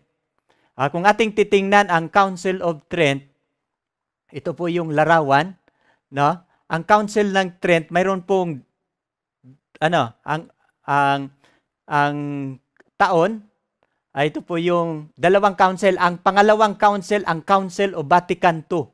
Ang dalawang council na ito, the Council of Trent and the Council of Vatican II, ito po yung nagpapabagsak sa pinaglalaban ng protestantismo noon at bakit ang protestantismo ngayon na bago. Ito po ang ano, ang Council of Trent nangyayari po 'yan sa 1545 ito po yung sa kasaysayan. Natapos po yan sa 1563 ED. No? At ang Council of Trent, ito po yung tinatawag na the Center of Counter-Reformation. Kung mayroong reform, ano, Protestant Reformation na nangyayari, ang simbahang katoliko, gumagawa din siya ng counter-reformation. At ano po ang kanyang ginagawa? During that year, mayroon po siyang organisasyon na itinayo. During that year, an organization was formed, a newly created group called the Society of Jesus at known as the Jesuits. No, itong ma, isang itong maliit na itong isang organization na kanilang pinuporma, tinatawag nila ito the, the Society of Jesus at sa panahon natin ngayon, ito yung grupo ng mga Hiswita, yung mga Jesuits, no? At anong layunin? Ito yung ano, kung ating pag-aralan ang mga Jesuits, ang kanilang paboritong kasuutan ay kulay black. At mayroon pong mahal, mahalagang papel na kanilang ginampanan paano nila pinapabagsak ang mga protestantismo. No, ito yung Jesuits at ang pinaka-leader nila tinatawag po ito the Father General.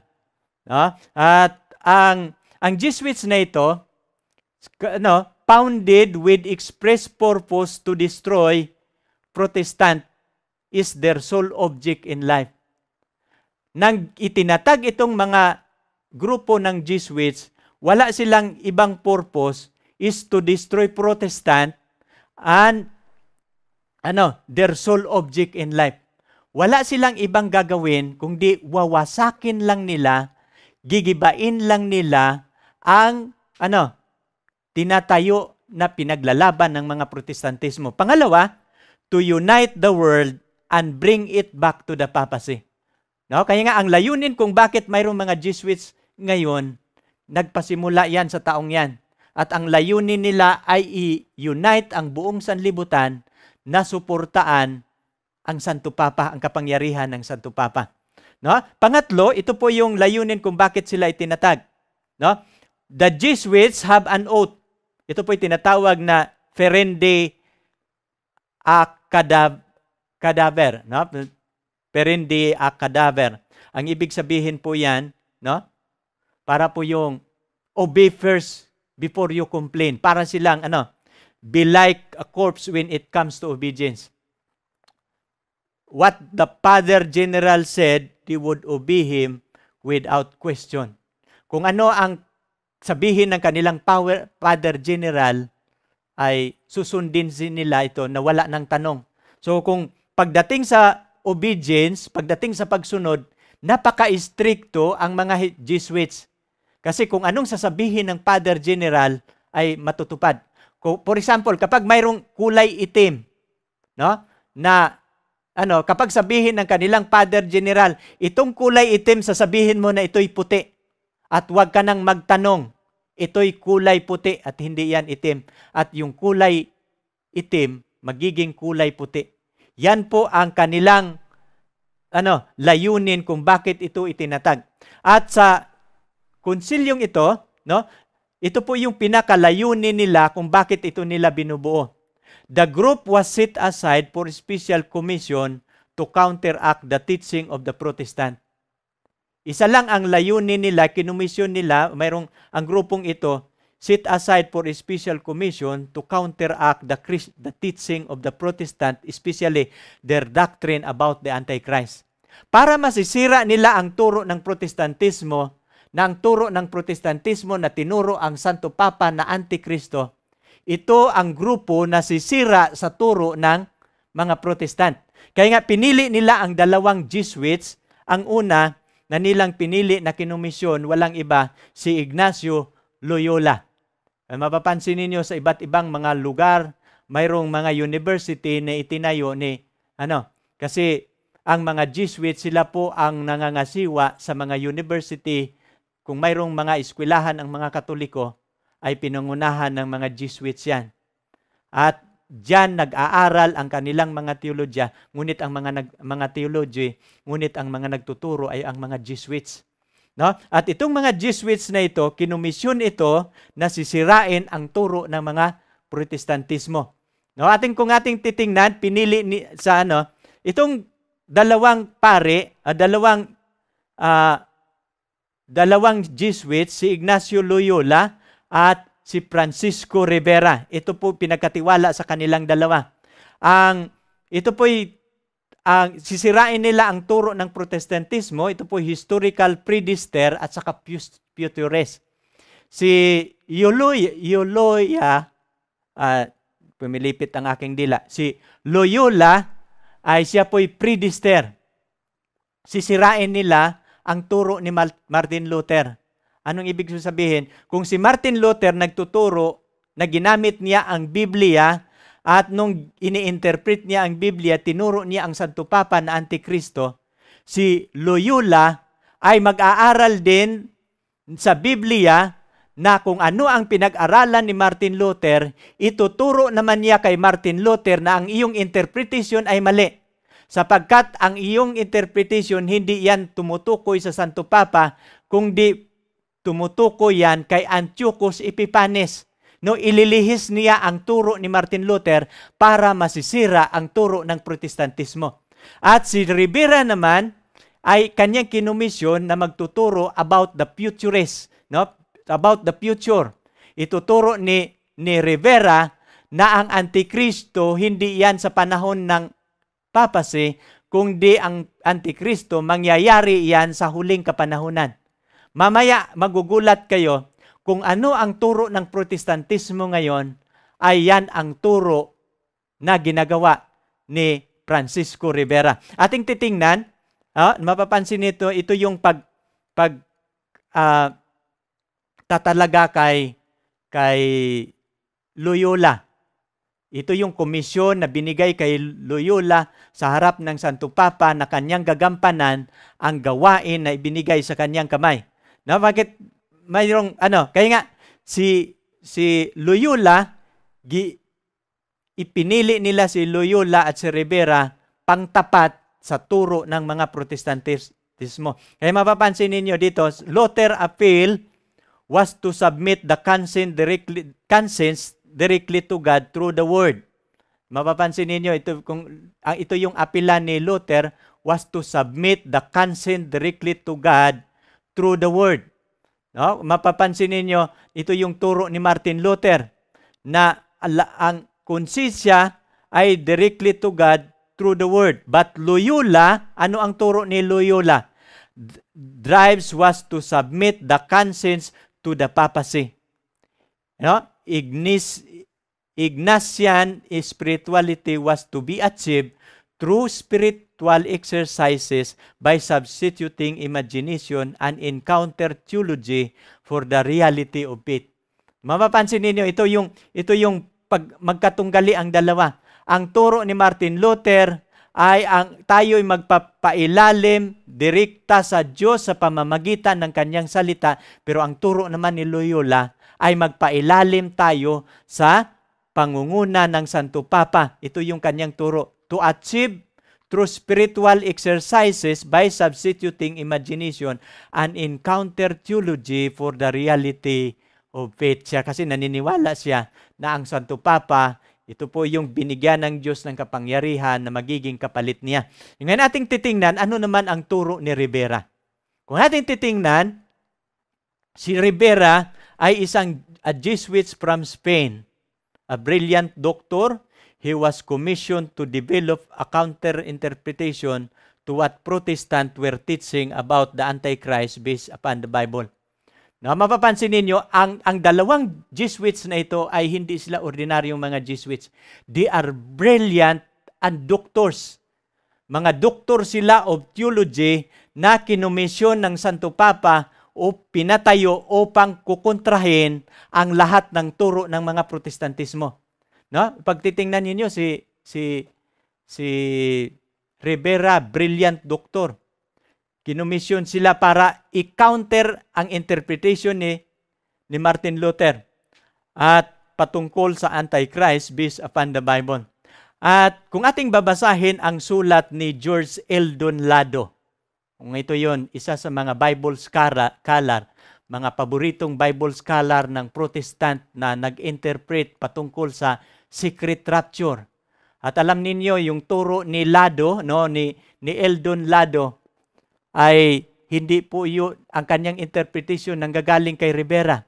Kaya kung kapag mayroong turo ngayon sa secret rapture, mag-ingat po kayo niyan, isa po yung delusion na turo sapagkat ang turo niyan ay hindi po yon interpretation ng Biblia, kundi interpretation po yon ng isang Jesuit na si Francisco Rivera. Ating kukunin yung sulat ni George Lado, no? George Eldon Lado, yung kanyang aklat na The Blessed Hope, a biblical study of second advent and the rapture. Kasi nagtuturo ito si Lado patungkol sa sa rapture, no? Kasi isang Protestant Bible scholar ito. Pero at saan niya kinukuha ang kanyang turo? No? Yung kanyang biblical study. Ating titingnan yung kanyang quote, kinuha niya ano, in 19 eh, in 1590 Rivera published a commentary on the book of Revelation as a counter interpretation to the prevailing view among Protestant which identified that the papacy with the Antichrist, with the Antichrist. Antichrist would be a single, a single ever person who would be received by the Jews and build up Jerusalem.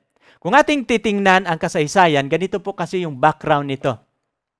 Nang pinag-aralan ni Martin Luther ang Daniel 7, nakikita niya, di ba papansin ninyo, ang Daniel 7 mayroon pong apat na hayop. Ang lion, ang bear, ang leopard at saka terrible beast. At mula sa ikaapat na hayop, sumibol at mayroong sampung sungay at pagkatapos sa sampung sungay, sumibol ang maliit na sungay. Pinag-aralan niya ni Martin Luther. At sa pag-aaral ni Martin Luther, itong sampung sungay, ito yung ano, division of Western Europe, yung mga bansa, yung maliit na sungay, nakikita ni Martin Luther na ito yung pagsibol ng power ng papasi at tinawag ni Martin Luther na itong maliit na sungay ay walang iba ang tinutukoy dito ang papasi. At ginagamit din niya ang mga ibang referensya sa Apokalipsis. At ginagamit ni Martin Luther ang 2 Thessalonians chapter 2 na ang Antikristo umuupo sa templo ng Diyos at nagtatanyag sa kanyang sarili na katulad ng Diyos. At itong talatang ito, ginagamit ito ni Rivera. Sabi niya, kung ito ang iyong interpretation, if, if you prove, kung iyong pinag-aralan, eh, sabi ni, ni Rivera, eh, kung iyong pinag, kung pinag-aralan ito ni Martin Luther, na ang na ang Antikristo ay ito dahil pinag-aralan ninyo, kung ating babasahin yung sulat ni uh, Merle Ubigny, kung ating titingnan, Luther proved by the revelation of Daniel and John uh, and the Apostle Paul, no, yun sa Thessalonica, at ni Pedro, ni Jude, ay tinuturo, predicted, uh, described to the papacy. Pero anong sabi ni, ni, ni Rivera? Sabi ni Rivera, ito yung counteract ni Rivera. Sabi ni Rivera, no, no, no, no. Sabi niya, yung interpretation ni Martin Luther ay hindi tama. This prophecy doesn't apply to, pa, to papacy at all. The little horn that came out of the fourth beast was cut off by God and moved it down to the end of time and the, that Antichrist only refer to a super evil bad guy who will show up at the very end of time. Ito yung interpretation ni Francisco Rivera. Sabi niya, Martin Luther, ang iyong interpretation ay hindi tama. Kasi pag inyong babasahin ang 2 Thessalonians, nauupo siya sa templo ng Diyos. Saan ba nakalagay ang templo ng Diyos? Sa Jerusalem. At ang templo ng Diyos sa Jerusalem, kung bag, ano, naupo at itatanyag niya ang kanyang sarili na katulad ng Diyos, hindi yan hindi yan nagre-refer sa whole system ng papacy, kundi nagre-refer lang yan sa isang tao.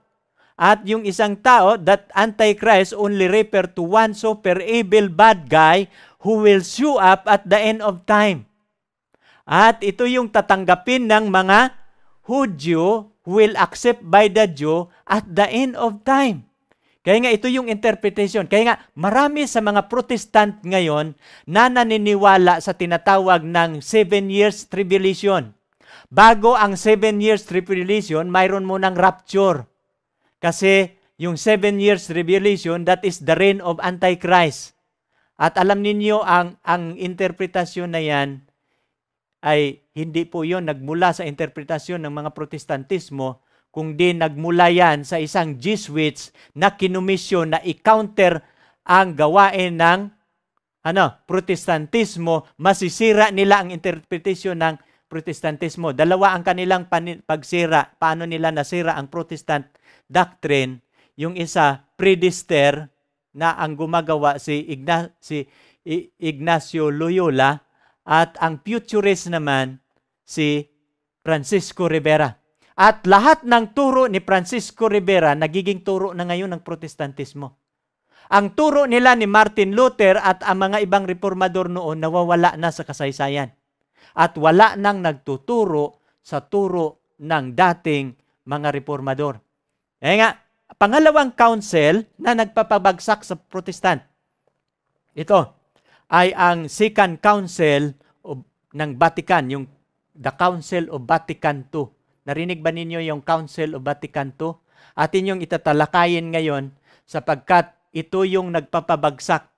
Kung ang interpretasyon ni Rivera ginagamit ngayon ng mga futurists, na mga Bible scholar, na mga Protestant, at ito na ngayon ang nagiging interpretasyon nila at naniniwala na sila sa secret rapture, ay isa po yung delusion. Mag-ingat po kayo sa mga doktrinang yan. No? At, at ito yung Santo Papa, bago nila itinatag ang Council of Vatican II, nagkakaroon ng eleksyon ng Santo Papa, bagong Santo Papa. Ang Santo Papa si Pope John 23. Si Pope John 23, ito po yung elected sa 1959. Sabi niya dito, the Second Vatican Council and the Chrismatic Renewals. Ah, ating, kung ating pag-aralan itong Council ng Vatican II, ito po yung sumisira sa buong ano, Protestant belief. Ito po, on 25 January of 1959, only two months after his election as Pope John 23, surprised the world by announcing the council to give the church the possibility to contribute more efficaciously to the solution of the problem of the modern age the joyful echo brought about by its announcement as well as the lively interest of the part of non-Catholic and even non-Christian proves in the most eloquent manner that the historical importance of the event has not escaped anyone. Na mapapansin ninyo, nang, nang naiilik ito si John 23, ina-announce niya na sa 1959, ang 1959 kasi, yun yung election na kung saan iniilik ang bagong papa na si John 23. At ina-announce niya na hindi magtatagal ay magkakaroon ng isang konselyo ang Katoliko. At ito po yung tinatawag na the Second Vatican Council na nangyayari sa 1962 natatapos sa 1965. No? At ito po yung pinangunahan ni John 23. At ito po yung nagsusurprise sapagkat ina-announce ito sa lahat ng mga tao, mayroon pong programa silang bubuin at ang programa ng Second Vatican Council, ito po yung nagpapabagsak ng inadapt ang, ang interpretation ni Rivera. Hindi po nagtatapos ang Katoliko noon. Hindi pa napapabagsak nila ang protestantismo. At alam ninyo kung paano nabagsak ang protestantismo nang nastapos ang Second Vatican Council. Ating titingnan ang ano. At sino po dito ang pinili ni ano John Paul 20 ni John 33 ni John 20 ni ang papa na si John 23 pinili niya ang ano si Cardinal Joseph Sinin. Ito po yung si Joseph Sinin, ito po yung uh, being inherited on ano chosen by the Pope 23 to be one of the chief architect of the Second Vatican Council. No sa meeting na 'yan. Sa kung mayroong council ng Second uh, Council, ang Vatican ay siya po ang pinaka-chief na nangunguna dito sa council na ito. At ito po yung sabi ni ni Sinin, sabi ni Sinin, Since I have had this charismatic experience, my allegiance to the Holy Father as a vicar of Christ in the world has been heightened and strengthened. My appreciation for Mary as the co-mediatrix and co-mediatrix, uh, sabi niya, uh, to my salvation has been assured. My appreciation to, of the mass of the sacrifice of Christ has now been high heightened. Mapapansin niyo ito yung sabi ni ni Sinin na sapagkat siya ang pinili isang pribilehiyo na kanyang susundin lahat ang inu pinagbigay sa kanyang kamay sapagkat siya po ang nagiging chief architect paano nila bubumuuin at si Sinin mayroon po siyang karanasan sa ano charismatics experience. Napapansin ba ninyo sa Second Vatican Council sapagkat si Sinin po dito ang chief paano nila pababagsakin ang protestant. Walang ibang layunin dito ang council na ito. Kung di kanilang ipapatumba ang lahat ng nagprotesta laban sa kapapahan. At alam ninyo kung kailan natumba o bumagsak ang mga protestantismo at anong nangyayari sa protestantismo, nagiging biktima nila at ang lahat na protestantismo nagiging anak nila na nagiging patutot na katulad nila. Paano ko sasabihin? Ito, sa 1962, Pope John Paul 23, ito yung convene the Vatican II. Sabi niya dito, the major aim, ano ba ang major aim ng kanilang council? Nakikita ninyo yung larawan, napakaraming mga cardinals. Ano yung sa kanilang council? The merging of all Christian dam and finally the blending of all religion across the planet. Ang ang layunin sa council na ito na ang lahat ng mga relihiyon sa buong mundo, no? Finally magkakaroon ng blending ang lahat ng religion, ang layunin nila na wala ng protestantismo sa buong planeta, lahat ng mga relihiyon sa buong mundo magiging isa. Paano nila yon gagawin? Ito yon. Anong vehicle na gagamitin nila? Uh, paano nila patutumbahin ang mga protestantismo? Using celebration activity. Celebration terminology and the power of music to facilitate the change. At alam ninyo ang kanilang vehicle, paano nila patutumbahin ang protestantismo. Sisirain nila ang worship, sisirain nila ang doktrina, at ano ang kanilang vehicle? Music. Music activity, using celebration activity. Gagawin nila na ang mga pananambahan ng mga protestant, celebration. Tayo'y nananambahan, hindi mag-aaral sa salita ng Panginoon, kundi magpupuri sa Panginoon, sa samba sa kanyang pangalan. Kaya mapapansin ba ninyo ang mga pananambahan ng mga protestant ngayon? Is a celebration activity. No?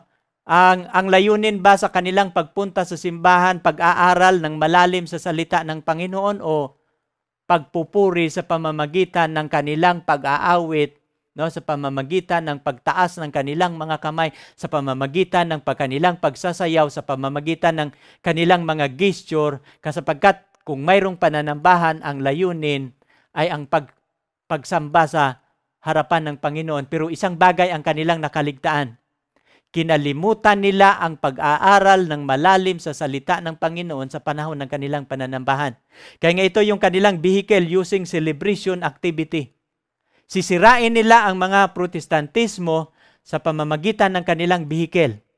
Mayroong tinatawag na mga insiders sa lahat ng mga simbahan ng protestant at magiging mga pastor nila at ituturo nila ang celebration activity. Kaya nga sa pananambahan ng mga protestant, minsan hindi mo malaman kung parang diskuhan na ang simbahan. Kasi maraming nagsasayaw, nagiging sayawan na. No? At ano pa? No? Taasan ng mga kamay sa pagpupuri, parang sayawan na at hindi higit sa lahat, mayroon ng mga kumbo, may mga symbols na. Na mapapansin niyo ang sanlibutan pumasok sa iglesia, walang standard. Kasi sinira uh, na, nasa utak ng katoliko paano nila sisirain ang ano, protestantismo. celebration terminology. Gagamitin nila ang eh, ano, silver, celebration, ang kanilang pananambahan ay isang silver, ano, selebrasyon na pananambahan. The power of music to facilitate the change. Ang kapangyarihan ng awit. Kaya mapapansin ninyo, ang mga awit ng mga protestant ngayon, walang standard. Pero sa amin mga Seventh-day Adventist, hindi pwede yan. Ang aawit sa simbahan namin kailangan makabasa, makapasa sa standard ng Biblia. Kaya nga mayroong solemnity kung aawit sa harapan ng Panginoon. Pero ang Protestant, walang solemnity. Kailan yan sinira sa Council ng Vatican II. Ano pa? Ito yon Sit, Sitport songs and musical celebration services as the most effective celebration utilizing popular religious song and relating music to various cultures and temperament of the people. Tama? Ito yung mga ano niya, document of Vatican II, page 84 and 91. Ito yung kinuha natin yun sa dokumento nila sa Vatican II, sa Council ng Vatican II. To sit forth song, musical celebration service as the most effective religious song relating music and various cultures and temperament of the people. No? Mapapansin niyo yung mga gesture, yung temperament of the people. Ano ano 'yan? Ano? Get that churches accustomed to revitalize style of celebration service, reduction inhibition, lot of physical gesture, bodily attitudes, and movement. Kaya nga mapapansin ninyo sa pananambahan ng mga protestant, mayroong mga sayawan, mayroong mga pataasan ng, ng kamay. Hindi mo alam kung ang pananambahan nagiging ano na rin, nagiging sayawan. At hindi lang 'yan, no? Ang mga music nila matindi din. Kaya nga minsan sa mga music ng mga Protestant hindi natin alam music ba ito ng sanlibutan o music ba ito patungkol sa Panginoon. Kasi walang standard. Yung ating titingnan ito yung ano nila. So ang ang ang kinuna natin na uh, na aklat ay document of Vatican II, page 84 and 91. Yung atin titingnan ang sunod. Si Pope, ano, ang kasunod ni Pope 23 na nagiging propagator sa charismatic, no, sa mga uh, uh, mga Catholic Charismatic ang nagiging propagator sa programa ng Council of Vatican II after 10 years kasi si Pope Paul VI, ito yun, was elected, na, napalitan na si Pope 23. Speaking to the International Conference of the Catholic Charismatic Renewal on May 19, 1975, encouraged the attendees in the renewal's effort and especially to remain anchored in the church. 1975 marks the years of the renewal coming of age in the Catholic Church. Pope Paul VI told to the group of 10,000 charismatic cardinals. No? Ito yung mga, mayroon silang binubuo na mga cardinals, na mga charismatic cardinals. Kasi kasama sa kanilang mga plano, no? ang mga cardinals nila magiging magig, mag, ituturo nila uh, kung ano ang mag, ang gagawin nila, yung mga charisma, Catholic Charismatic, katulad sa ating panahon na ngayon, ano bang mga Catholic Charismatic na grupo mayroon ngayon? Ang grupo ni ni Mike Bilarde, ito po yung tinatawag na Catholic Charismatic yan. Papa, papansinin niyo ang ang estilo na ginagawa ni Bilarde katulad ng estilo sa ginagawa ng Protestant. So very confusing 'yan. Kapag mag kapag magkakaroon ng pananambahan ang Catholic charismatic style, hindi na sulimni. Kaya nga dalawang uri ang Katoliko. Yung isa charismatic style, yung isa naman sulimni na uri. Kasi ang sulimni na uri, ito yung mananawagan. Kapag makompuse na nila ang Protestant through music, mananawagan na sila. Ang una nilang gagawin, paano mapabagsak nila ang Protestantismo, lasingin muna nila sila sa pamaraan ng kanilang pagsamba. At kapag malasing na, madivert na ang kanilang attention sa celebration, madivert na ang kanilang attention na ang katotohanan hindi na titingnan ng protestantismo, naka-focus na lang sila sa worship at sa pananambahan, mananawagan na ngayon ang katolikos na sila po'y manumbalik sa kanilang ina. Bakit manumbalik sa kanilang ina? Kasi nalasing na ang mga protestant at lahat na nalasing, wala na sa matinong pag-iisip at mananawagan na ang katoliko na sila'y manunumbalik sa kanilang ina sapagkat ang katoliko ay ina ng protestantismo. At ngayon ang nangyayari ngayon, wala nang natirang protestantismo noon na nagprotesta laban sa kapapahan. Bakit? Nang ginawa ang Council ng Vatican II, lahat ng mga protestantismo nalalasing na sa paraan na ginagawa ng katoliko. Nothing is more necessary to this more and more no, secularized world than the witness of the spiritual renewal.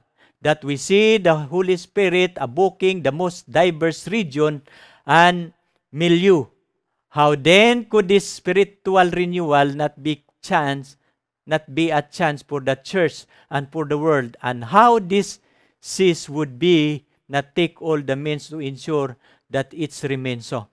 So ito yung ito yung propagator no nagpro-promote ng Catholic Charismatic Renewal na sa kasama ng kanilang programa sa pamamagitan ng music ay ano at sa panahon na sa ano na yan na si Pope Paul VI na habang tinuturo niya ang paraan paano gagawin at ito po yung nangyayari nahihirapan po ang mga archobispo mga cardinals nahihirapan po silang sumayaw sa kanilang unang pagkakataon, tinuturuan sila ng Santo Papa, ito ang inyong gagawin. Babaguhin ninyo ang style ng Katoliko. We are Catholic Charismatic now. Hindi na tayo katulad ng Katolik noon na sobrang seryoso. Babaguhin natin ang ating estilo para ma-attract natin ang lahat na protestantismo. Masisira natin ang paraan ng kanilang pagsamba sa pamamagitan ng bagong estilo ng mga awit at ang mga awit na ano na ang mga awit natin papasok sa kanilang mga simbahan. Bakit papasok sa kanilang simbahan? Mayroon po silang tinatawag na mga insider. No? Mayroon po silang mga secret agent na magiging pastor sa lahat ng mga Protestant churches at ito po'y gagawa ng pagbabago sa bawat iglesia ng mga Protestantismo. Sabi niya dito, bishop and archbishop and cardinals struggling to keep their hats in place, sang and dances ecstasy, embracing one another, raising their arm to heaven. Ito yung ginagawa nila sa pagsamba. no? Ang mga pananambahan na nakataas ang kamay, sino po ang utor niyan? Hindi po ang mga protestantismo, kundi ang katoliko. Kailan yan nila ginagawa? Sa council ng Vatican II. No? Ang ano ang kanilang layunin? Sisirain nila ang ano, grupo ng protestant. At kapag masira na nila, manawagan na sila na sila ay manunumbalik. Sino po ang pinakautor sa ganitong uring turo? Kung inyong pag-aralan, isang Jesuits ang pinagmulan sa ganitong uri ng pag-aaral. Ang pangalan niya ay si Karl Rahner. Si Karl Rahner is an undoubtedly the most important Roman Catholic theologian in the 20th century. His ano, seminal position among the contemporaries result of some extent from the his ability to put theology and philosophy into dialogue. Ito po'y ito po'y napakadelikadong pag-aaral na pinaghalo nila ang theology at saka philosophy. No? Pinag-aasawa niya ang theology at ang philosophy at nakabuo po siya ng uri ng isang estratehiya na masisira niya ang protestantismo sa pamamagitan ng isang estilo ng pananambahan kaya nga binubuo na nila ang Catholic Charismatic. At ang utor niyan sa Catholic Charismatic ay isang theologian, no? isang Catholic theologian na si Karl Rahner. At ito po yung sabi ni Karl. Sabi ni Karl no? originated a new religious category. Anonymous Christianity. No?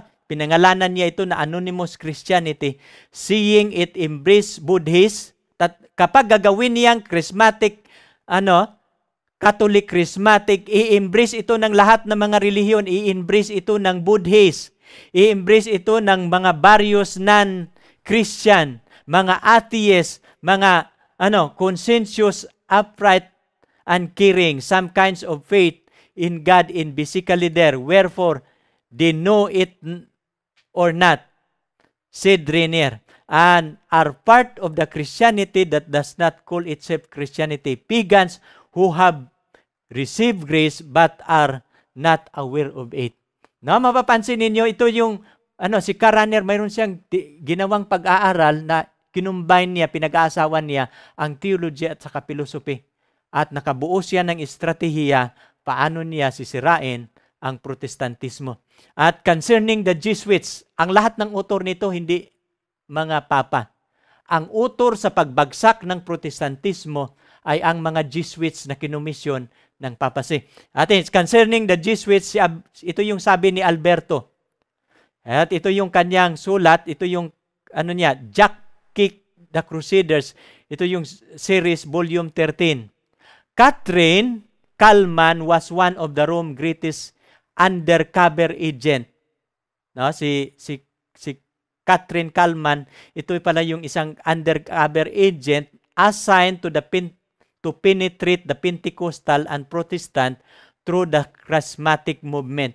She was a master of hypnosis, had tremendous psychic power.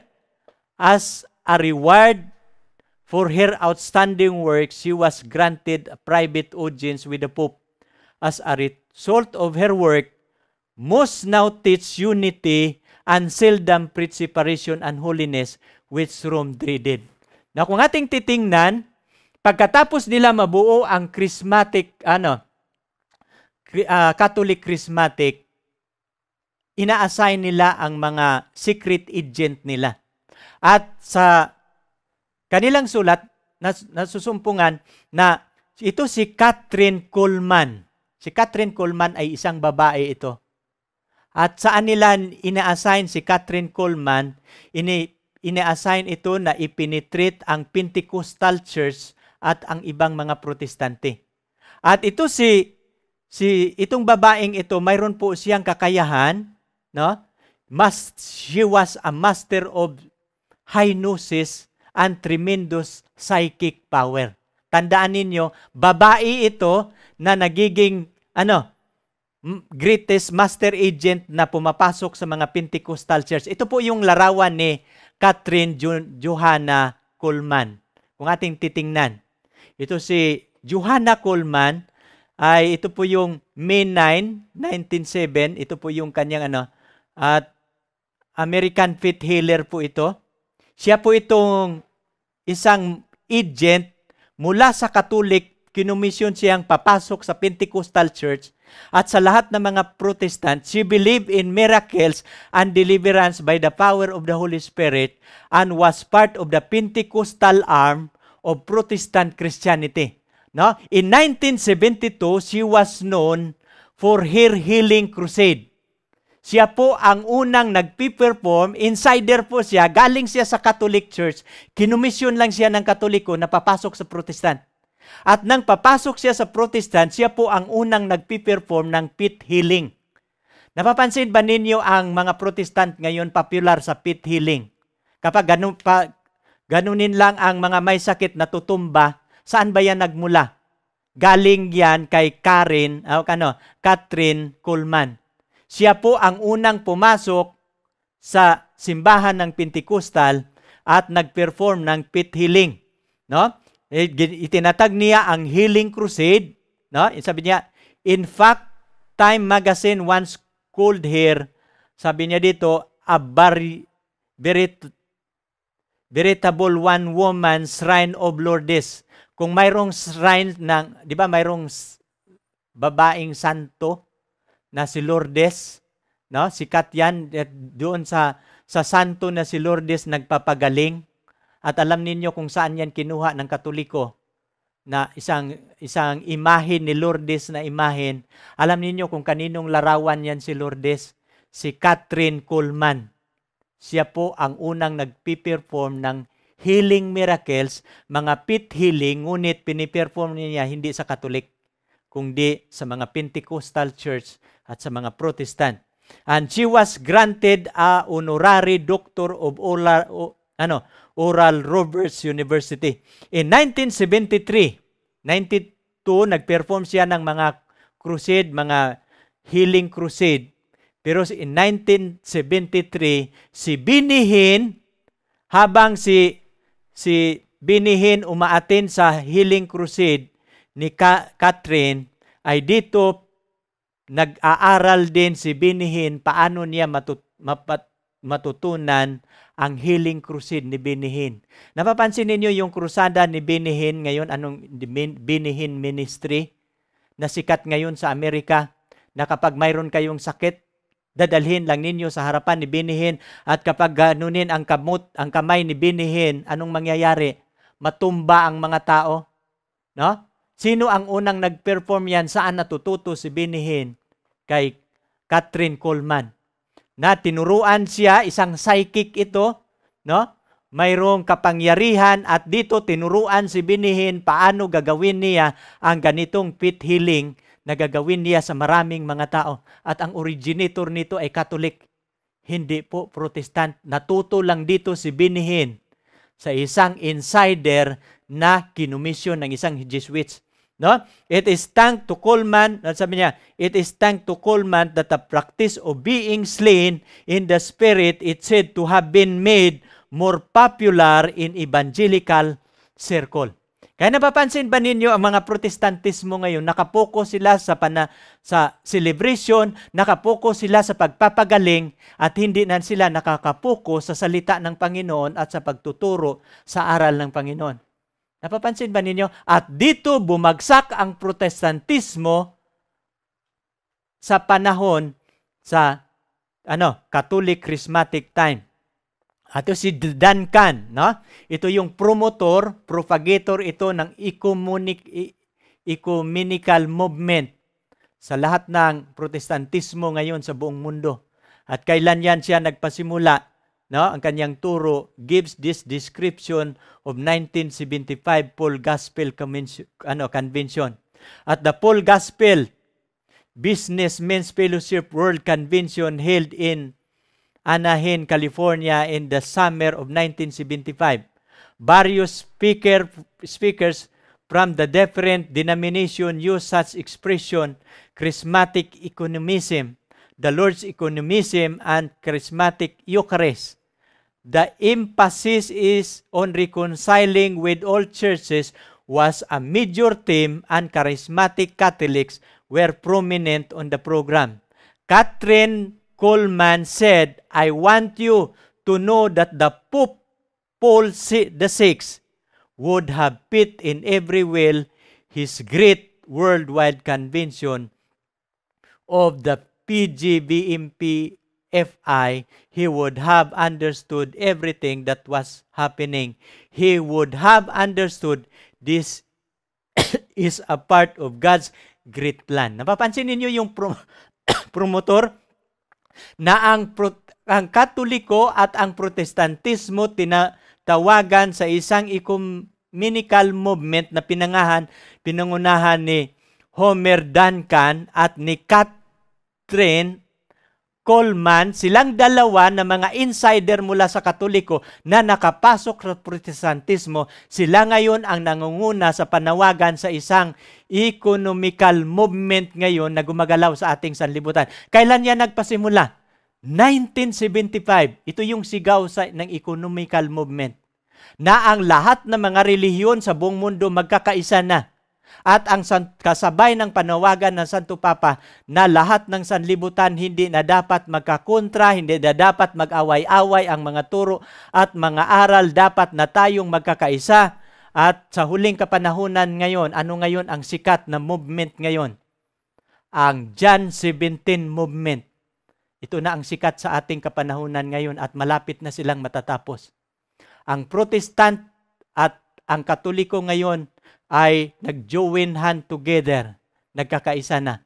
At next year, by October 31, 2017, ito yung pinakamalaking celebration sa John 17 movement na kanilang gagawin.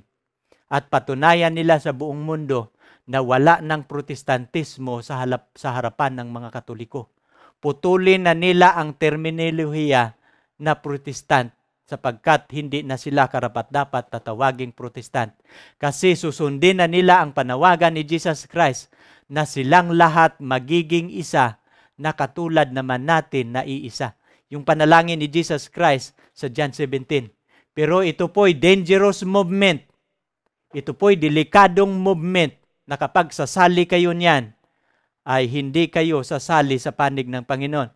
In the same convention, Roman Catholic Press and John Bertucule, a main evening speaker, told of this Holy Spirit baptism and said, During the week, we have charismatic mass, just a gorgeous experience of worshiping the Lord in the midst of the Holy Eucharist.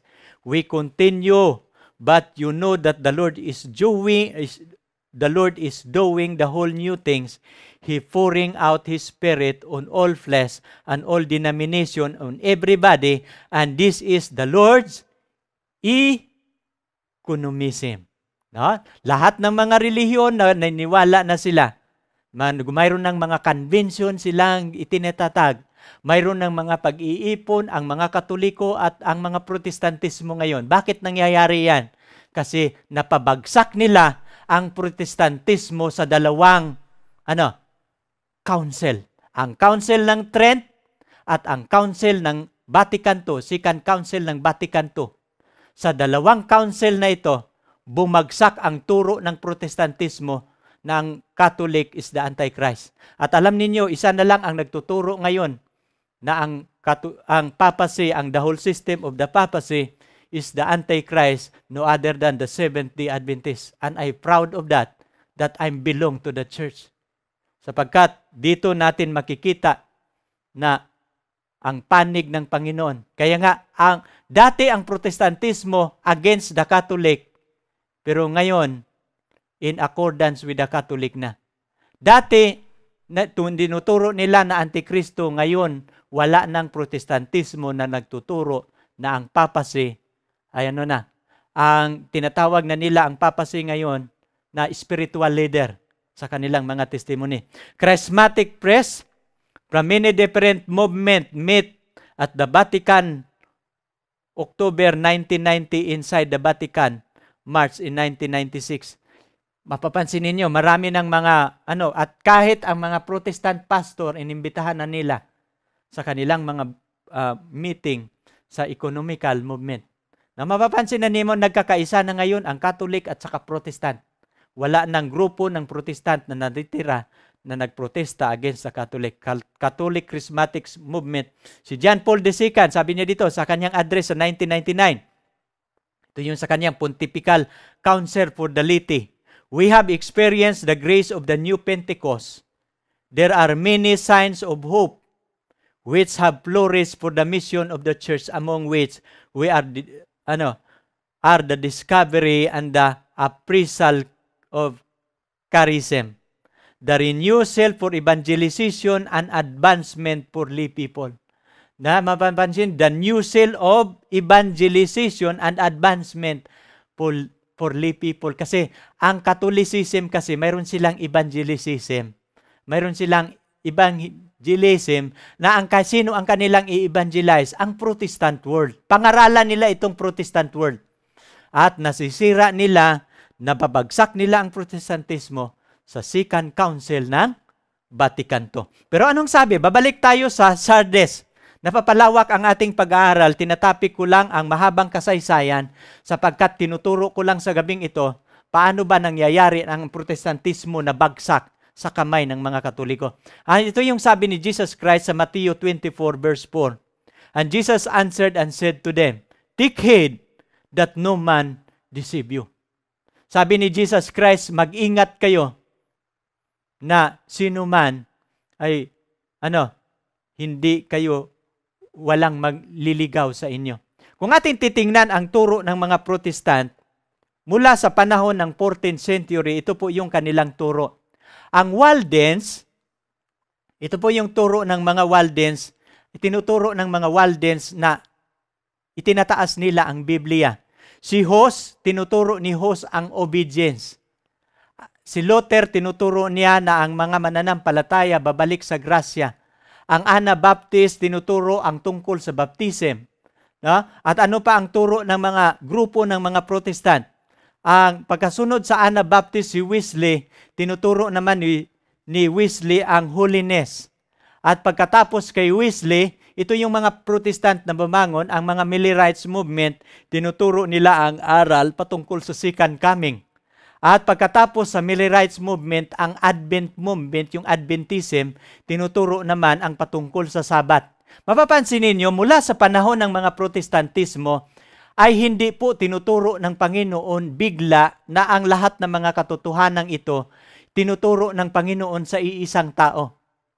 Ang tungkol sa Bible, tinataas ang Biblia, tinuturo po ito ni Wycliffe at ang, ng mga Waldens.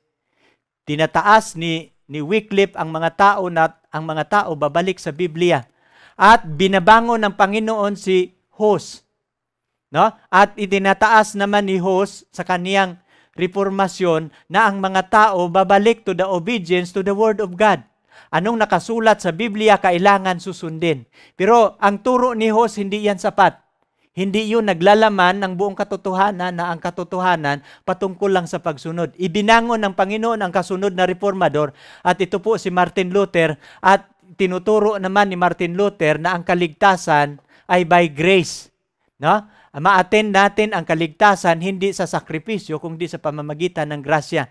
At pagkatapos ni Martin Luther, binangon naman ng Panginoon ang isang reformador, si John Calvin, at tinuturo naman yan yung Christian growth na kapag ikaw ay magiging anak ng Diyos, kailangan lalago ka sa iyong pananampalataya, lalago ka sa karunungan, mag-aaral ka sa Biblia. Tinuturo yun ni John Calvin. At ang Anabaptist, no, tinut- natutuklasan naman nila na kapag ikaw pala ay magiging lingkod ng Panginoon, kailangan bautismuhan ka. Kaya lumabas yung aral ng Anabaptist ang patungkol sa immersion. Pero hindi yan sapat, magkakaiba ang kanilang mga turo. Si Wesley naman, tinuro ni Wesley ang holiness. Uh, an, kailangan ang kabanalan sa paglilingkod, maranasan ang sanctification. No? At si Miller, tinuro naman, hindi lang yan kailangan, kundi kailangan din natin maghintay sa Panginoon. At alam ninyo, lahat ng mga katuruang ito, lahat ng ibinyangon ng Panginoon, nagiging relihiyon ngayon. Si, ang mga Waldens, nagiging isang grupo ng mga ang Wycliffe nagiging isang relihiyon, ang Ho, si Hos nakabuo din siya ng isang relihiyon. Si Luther, mga Lutheran ngayon, no, sa mga Calvinist, ang mga Baptist, ang mga Wesleyans, napapansin ninyo napakaraming relihiyon ngayon. Pero hindi yan ang kalooban ng Panginoon. Bakit binangon ng Panginoon ang reformador? Ang isang katotohanan ay ibinangon ng Panginoon ng isang reformador. Binigay sa kanya ang katotohanan. Sapagkat ang katotohanan noon, nang bumangon ang reformasyon sa Sardes, ang Protestant Reformation, ibinigay ito ng iisa-isa, hindi lahat. Hindi binigay ng Panginoon ang isang katotohanan sa isang ano, mga ngaral, kundi ibinigay ito sa bawat yugto ng panahon. Ibinangon niya uli ang katotohanan sa magkakaibang yugto ng mga panahon. Ngunit itong lahat ng mga katotohanan ito, kasabay itong pinag-aralan ng mga Seventh-day Adventists at ito ngayon ang nagiging doktrina, buong doktrina ng Seventh-day Adventists. Kaya nga mayroon kaming tinatawag na 27 fundamental belief lahat ng pinag-aralan, tinuturo ng mga reformador sa panahon ng medieval time, sa panahon ng Protestant Reformation, pinag-aralan namin lahat yon. At lahat ng turo ng Protestantismo, nagiging turo namin ngayon, no, kasabay na ang turo ng Millerite movement tuto patungkol sa second coming, no? At ito ngayon ang nagiging Advent movement, duk, mga Adventistas del Septimo Dia na nagtuturo na ang tamang araw ng pagsamba hindi linggo kundi Sabado. At ito po yung turo na tinuturo namin ngayon. At ang Seventh-day Adventist, ito na lang ang nagtitirang Protestant movement sa kapanahunan ngayon. Wala nang natitirang grupo na Protestantismo, no, walang iba kundi ang Seventh-day Adventist. At magpapasalamat kayo na mayroon pang mga ngaral na Protestantismo ngayon natitira isa na lang. At ito yung aral namin ngayon na dinadala namin sa buong sanlibutan. Ito po yun ang mga protestantismo ngayon. May dala po silang ilaw. Mula kay Wycliffe, pinasa ni Wycliffe ang ilaw kay Martin Luther. At pagkatapos kay Martin Luther, pinasa niya ang liwanag kay John Knox, kay John Newton. No, pagkatapos kay Newton, kay Wesley. Ito po yung liwanag ng katotohanan na dinala sa ating kapanahunan ngayon. Kung mayroon pong liwanag ang Seventh-day Adventist na dinadala namin ngayon, pinapangaral sa YouTube, ito po yung liwanag ng ano, dala-dala ng Protestant Church sa medieval time ng people supremacy. At ang liwanag na ito, dala-dala namin ngayon. Ito po yung isang katotohanan. Ano ba ang mga isyo na dapat nating matutunan? Ito po yung mga issue, greatest issue. No? Ating nakikita ang greatest issue, Satan, Satan's counterfeit at saka God's truth. Ano pa ang mga ano, yung authority. Ang issue, ang ano ba ang otoridad? Ang turo ng simbahang katoliko, ang turo nila na ang otoridad, ang mayroong otoridad, ang church council. Kaya nga tinuturo nila yung the church is above the Bible. Pero totoo ba yan? Hindi yun totoo. Ano ba ang katotohanan? Ang mayroong otoridad, ang God's truth is ang Word of God. Ang mayroong otoridad na dapat namin nating batayan ng ating pananampalataya, hindi ang iglesia, kundi ang salita ng Panginoon. Pangalawa, yung prayer. Ini-introduce ng Satan's counterfeit na manalangin sa mga imahin, sa mga ribolto, sa mga images. Kaya nga marami pong mga ribolto ginagawa ang mga katoliko, marami pong ginagawang mga santo.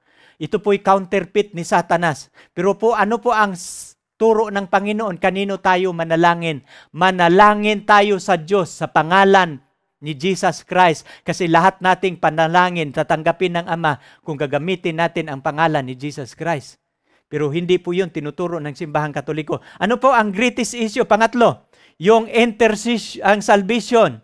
Ang salvation, tinuturo ng simbahang katoliko, ito po yung Satan's counterfeit, na ang human work. Kailangan magpapalo ka, sasaktan mo ang iyong sarili, mag-indulensya, no?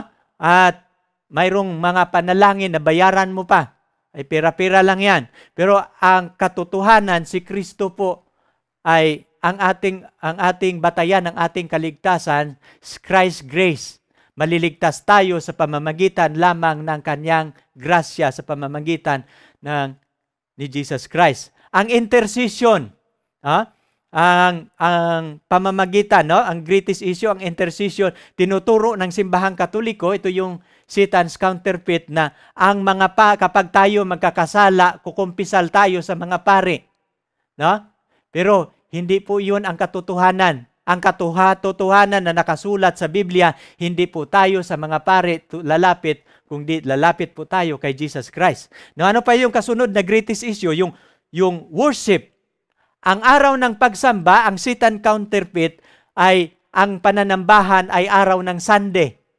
Pero pag titingnan natin ang katotohanan sa Biblia, hindi po araw ng linggo, kundi araw po ng Sabado, ang tunay na nakasulat sa sampung kautusan ng Diyos. At anong nangyayari sa mga protestant ngayon? Ano bang araw ng pagsamba? Kung bakit ang mga protestante nagiging patutot, kung kasi kung ano yung turo ng mga katoliko, nagiging turo din nila. Ano bang araw ng pananambahan ng katoliko? Yung Satan's counterfeit. Ang counterfeit ni Satan, ang araw ng pananambahan, araw ng linggo, at tinanggap po yun ng protestantismo ngayon. No, mapapansin ninyo, lahat ay hiwalay sa katotohanan. Ang turo tungkol sa kamatayan, ang turo ng Katoliko, ang Satan's counterfeit ng turo ng Katoliko, ang kaluluwa, walang kamatayan. At yun din ang turo ng mga protestantismo ngayon. Kapag mamatay ang tao, nasa piling na, na ng Panginoon, nasa piling na ni Lord. Pero hindi po yung totoo. Ang katotohanan sa Biblia, kapag mamamatay ang tao, babalik siya sa alabok sa lupa at ang kanyang kalagayan, siya po'y natutulog. Gigisingin lang siya ng Panginoon kapag darating si Jesus Christ. Yon po ang turo ng Biblia. Ang sa baptism, ang tinuturo ng simbahang katoliko si ay may ang baptism ay sprinkling and pouring. Bubuhusan na lang. No? At ang turo ng Biblia ay immersion. Ang turo ng tamang turo ng Biblia ay paglubog sa tubig. Hindi po 'yun tinuturo na dililihis sa katotohanan. Ano po ang turo ng ba, patungkol sa kautusan? Ang turo ng counter, Satan's counterfeit, ang kautusan ay naabulis na. Ito yung turo ng mga Nicolaitans. Nang namatay si Kristo, naabulis na ang kautusan. Yan din ang turo ng mga protestantismo ngayon. Uh, ngunit yan po ay Satan's counterfeit. No? At yan ang turo din ng ang Katoliko, hindi din nagtuturo ng kautusan. Mapapansin ninyo, pero ano ang turo ng Panginoon? Sa Biblia, ang kautusan ay mananatili ito magpakailan-kailanman. Walang hanggan ang kautusan. So ating napag-aralan ang mga greatest issue, ano ang Satan's counterfeit, ano ang turo ng Diyos, ito po nalalaman natin ang malaking pagkakaiba. Ngayon ating pag-aralan ang kasunod. Ano bang sabi ni Jesus Christ sa Mateo 15, versikulo 9? Kung ating babasahin yung 15 verse 9, kapag umpisahan ninyo yun sa 7, sabi niya dito, In vain they worship me, teaching as doctrine the commandments of men. Itong mga simbahang ito, yung katolisismo at protestantismo ngayon, walang kabuluhan ang pagsamba ninyo sa akin na inyong tinuturo ang mga utos ng mga tao. Kung mayroong mga doktrina na nabubuo ang mga grupong ito, nagmumula po yun sa spiritual Jezebel. At ang mga protestantismo ngayon, nagiging anak ng spiritual Jezebel. Ano ang turo ng katoliko ngayon? Tanggap na rin ang protestantismo ngayon. Ngayon ating titingnan, ano bang sabi ni Jesus Christ? Ibinagsak ba niya ang kautusan o winala ng kabuluhan? Anong sabi ni Jesus Christ? If you love me, keep my commandments. Hindi pwede na alisin ang kautusan. Kaya nga mapapansin ninyo, woe to you, scribe and the Pharisees. Ito po yung tinutukoy ni Jesus Christ ang mga pari na nagtuturo. Hypocrites, for you clean the outside of the cup and this, but inside they are full of extortion and self-indulgence. Itong mga mga ngaral na ito, sabi niya, wa, ano, kahabag-habag, kawawa kayo mga eskriba at mga parisiyo, mga hipokrito nagpakungwari, no? Nilinis ninyo ang labas, ngunit bulok ang loob. Having a form of godliness, but denying the its power, and from such people turn away. No? Ano ba ang mga turo ng mga simbahang ito? Ang may mga forma ng kabanalan, mga forma ng kabanalan, pero ang kapangyarihan hindi makikita sa loob ng kanilang iglesia. Kahit mayroong pananambahan, pero hindi nakikita ang kabanalan. No? Sabi ng Panginoon, lalayo kayo sa sabi ni Apostol Pablo, lalayo kayo sa kanila. Kaya nga ito yung mensahe sa Sardes, be watchful and strengthen the things which remain that are ready to die. Sabi ito yung panawagan niya sa iglesia ng Sardes. Kasi sabi niya, mag-iingat ka. No? At palakasin mo ang kakaunti na natitira. Kaya sapagkat ito'y malapit ng namamatay. Ano bang nangyayari sa turo ng protestantismo noon? Namamatay ba? Namamatay. Pero iilan lang ang natitira na bumangon sa turo ng protestantismo noon. Iisa na lang ang natitira. And that is the teaching of the Seventh-day Adventist. Mapapansin ninyo, iyon yun ang, ano, dito tayo sa council. Ano bang payo ng Panginoon sa iglesia ng Sardes? Sa grupo ng mga protestant noon. Remember therefore, sabi niya dito, Remember therefore how you have received and heard. Hold fast and repent. Therefore, if you will not watch. Now, sabi niya ito, I will come upon you as a thief, and you will not know what hour I will come to you. No, sabi niya, be watchful and watch. Sabi niya, uh, sabi, ito yung remember what you receive. Hold fast and repent. Sabi niya, panghawakan mo yan at magsisisi ka. Kasi, ano, kung hindi ka mag-iingat, darating ako at sa oras na hindi mo at parusahan siya ng Panginoon. You have a few names even in Sardis who have not defiled their garment and they shall walk with me in white for they are worthy. Sabi niya, mayroon lang iilan na sa inyo na lumalakad na naglilinis ng kanilang mga damit. Ibig sabihin, kukunti lang ang natitira sa mga protestantismo na bumangon na nananatili na nagdamit ng maputi sa harapan ng Panginoon na nagiging worthy. Kaya nga, ano, remember how you receive and heard. Kaya nga ito yung payo ng Panginoon. Alalahanin mo kung paano mo ito tinatanggap at napakinggan. Ito yung mensahe ng Panginoon. Paano mo ba tinanggap ang mensahe ng Panginoon at napakinggan? Alalahanin mo yan, huwag mong kalimutan. Ito po ang payo ng Panginoon. Ano kasunod? Hold fast and repent.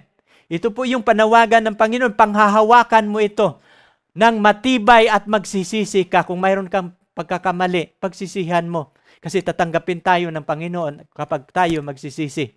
Sa verse 5, He who overcomes shall be clothed in white garment, and I will not blot out his name from the book of life. Sabi niya, No? Siyang na magtatagumpay, akin siyang damitan ng maputing damit at hindi ko aalisin ang kanyang pangalan sa aklat ng buhay. But I will confess His name before the fa- my Father and before the angel. At sasabihin ko ang kanyang pangalan sa harapan ng aking Ama at sa kanyang mga anghel. No? Anong mangyayari ang magtatagumpay? Ito yung panukala ng Panginoon. Ito yung kanyang reward.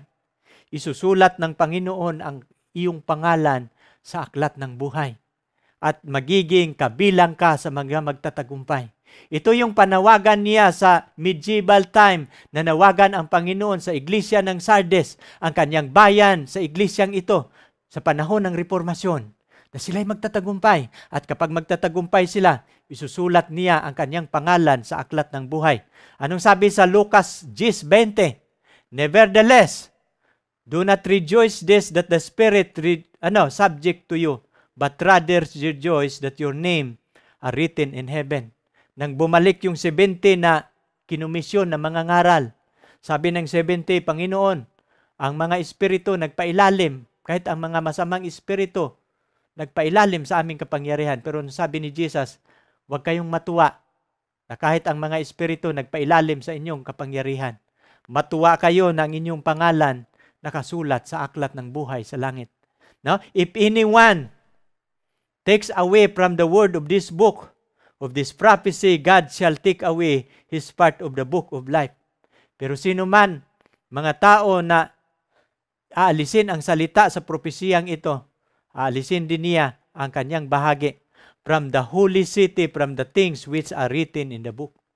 No, mapapansin ninyo sa verse 5, Revelation 3.5, He who overcomes shall be clothed clothed in white garment. Anong pangako ng Panginoon sa mga magtatagumpay? Si, sino mang magtatagumpay, sino mang mga protestantismo na mananatili sa turo ng Panginoon, ay susuutan ko siya ng maputing damit. The symbol, the, the righteousness of Christ. Sa Revelation 7.13, Then the one of the elder answered, seeing to me, Who are these arrayed in white clothes? Sino ba itong nagdamit ng maputi, na sinuutan ng maputing damit? Where did they came from?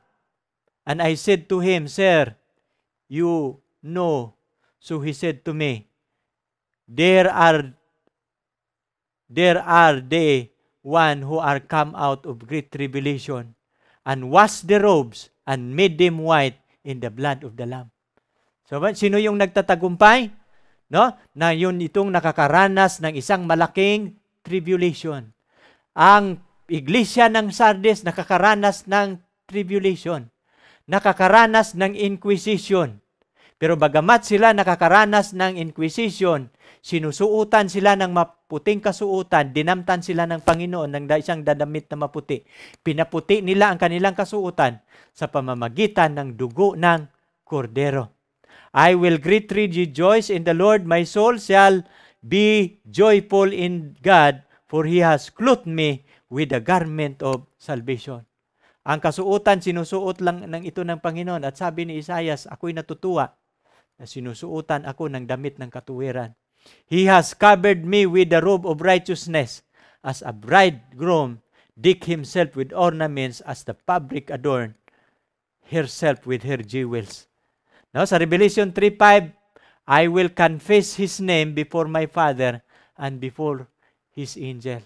Sa lahat na magtatagumpay sa iglesyang ito, sabi ni Jesus Christ, sasabihin ko ang kanilang pangalan sa harapan ng aking Ama at sa harapan ng kanyang mga anghel. Na ito yung mga taong nagtatagumpay sa mensahe sa Sardes. Righteousness, worth, and integrity, ito yung pangako ng Panginoon sa lahat ng magtatagumpay. Sa lahat ng mga magtatagumpay, ibibigay ng Panginoon ang kanyang katuwiran katulad ng maputing damit. At kapag ikaw masusuotan ng kanyang maputing kasuotan, mayroon kang halaga sa kanyang paningin. Ikukumpes ang kanyang pangalan. Ikukun sasabihin ang iyong pangalan kapag ikaw ay magtatagumpay sa harapan ng Diyos. Father, this is the overcomer. No? June lumingkit. O ikaw na nanonood ngayon, siya ang nagtatagumpay.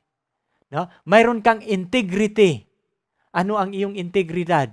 Ikaw ay anak ng hari ng universe. No? Ikaw, let us hear the conclusion of the whole matter. Fear God and keep His commandments, for this is the whole duty of man. No, itong natitirang grupo ng mga maliit na pulutong ngayon na natitira mula sa reformasyon, bumangon, nag-iingat ng kanyang kautusan. Sabi niya, let us hold the conclusion of the whole matter. Matakot kayo sa Diyos, sundin mo ang kanyang kautusan, sapagkat ito ang buong katungkulan ng tao. Dito tayo sa pangwakas, panghuli. Ito yung closing natin. Ano ang sabi ng Panginoon?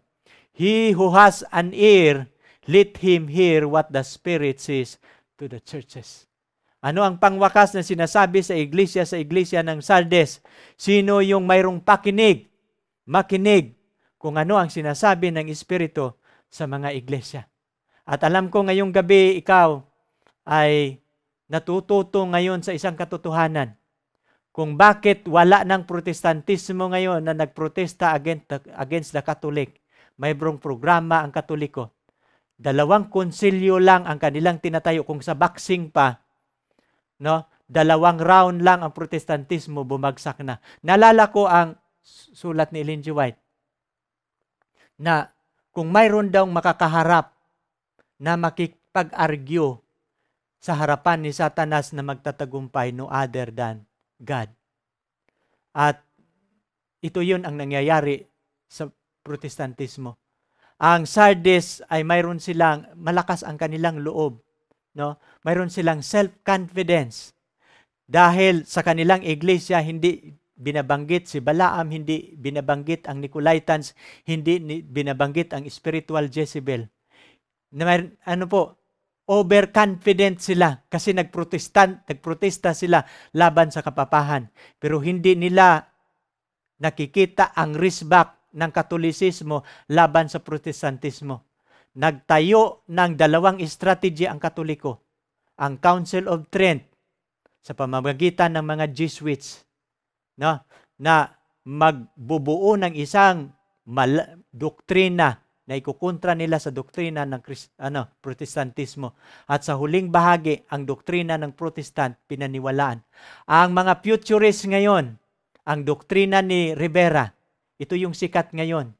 Yung secret rapture, ang Antichrist babangon sa Israel sa huling panahon. Ito po'y doktrina ni Rivera. At sana sa gabing ito mayroon kayong natutunan. Ang isang katotohanan kung bakit ang protestantismo ngayon makipag-isa ngayon sa katolisismo dahil sa kanilang estratehiya. At ang katotohanan ito magiging ilaw nawa ng buong Protestant world at kung mapapanood ninyo ito, nawa makikita ninyo ang katotohanan, magbalik loob sana kayo sa turo ng Panginoon. Aalis kayo sa turo ng kaaway. Walang ibang paraan na maligtas kayo sa harapan ng Panginoon. At nais ko kayong ipanalangin ngayong gabi. Dakila naming Diyos, maraming salamat Ama, na sa gabing ito binuksan ninyo ang isang katotohanan. At kung hindi namin ito sasabihin, Ama, wala nang ibang magsasabi sa kanila. Maring ako na lang ang natitira na magsasabi sa kanila. Ngunit ito'y isang malaking katotohanan na binuksan namin ngayong gabi. Nawa Panginoon, mahabag kayo sa lahat ng naliligaw na mga protestantismo ngayon. Ang isang malaking movement ngayon, yung John 17 movement, malapit na sila magtatapos sa kanilang programa. At ako'y naniniwala, ito ang magdadala sa Amerika kung bakit ang Amerika magsasalita ng katulad ng dragon sa huling panahon sa pamamagitan ng John 17 movement. At ito yung dangerous movement sa panahon kung saan kami ngayon namubuhay. Umaasa kami, Panginoon, na ang topic na aming ginagawa ngayong gabi, isang malaking babala, isang malaking warning na ibinibigay mo sa sanlibutan. At sa pamamagitan nito, Panginoon, mahabag ka sa mga taong naghawag, naghanap ng katotohanan, na sila po'y manumbalik sa tamang turo ng Biblia, na hindi sila manliligaw, na sila po'y hindi magiging patutot na magiging anak ng babae sa Revelation 17 na nagiging anak ng spiritual Jezebel. Umaasa ako, Panginoon, na ang topic na aming ginagawa ngayon ay magiging isang kamulatan na maraming protestantismo ngayon ba magmamarch sa lalabas sa kanilang kalagayan papunta sa tunay ninyong iglesia. Salamat Panginoon sa katotohanan na inyong binuksan ngayong gabi. Salamat din sa karunungan na inyong pinagkaloob at pinagkatiwala sa aming mga kamay. At aming itong binibigay sa YouTube ngayon binibigay namin sa sanlibutan upang malaman nila ang malaking katotohanan na ang protestantismo pinababagsak ng katolisismo sa pamamagitan lamang ng music at ano celebration, worship na pumapasok sa iglesia ng protestantismo at sila'y bumagsak. At umaasa kami, Panginoon, na sila sana'y makakabangon muli at maglilingkod sa tunay na aral na inyong binibigay sa aming mga kamay. Salamat, Ama, sa pagdinig ninyo sa aming dalangin. Ito po'y aming hinihiling sa pangalan ng aming Panginoong Hesus. Amen.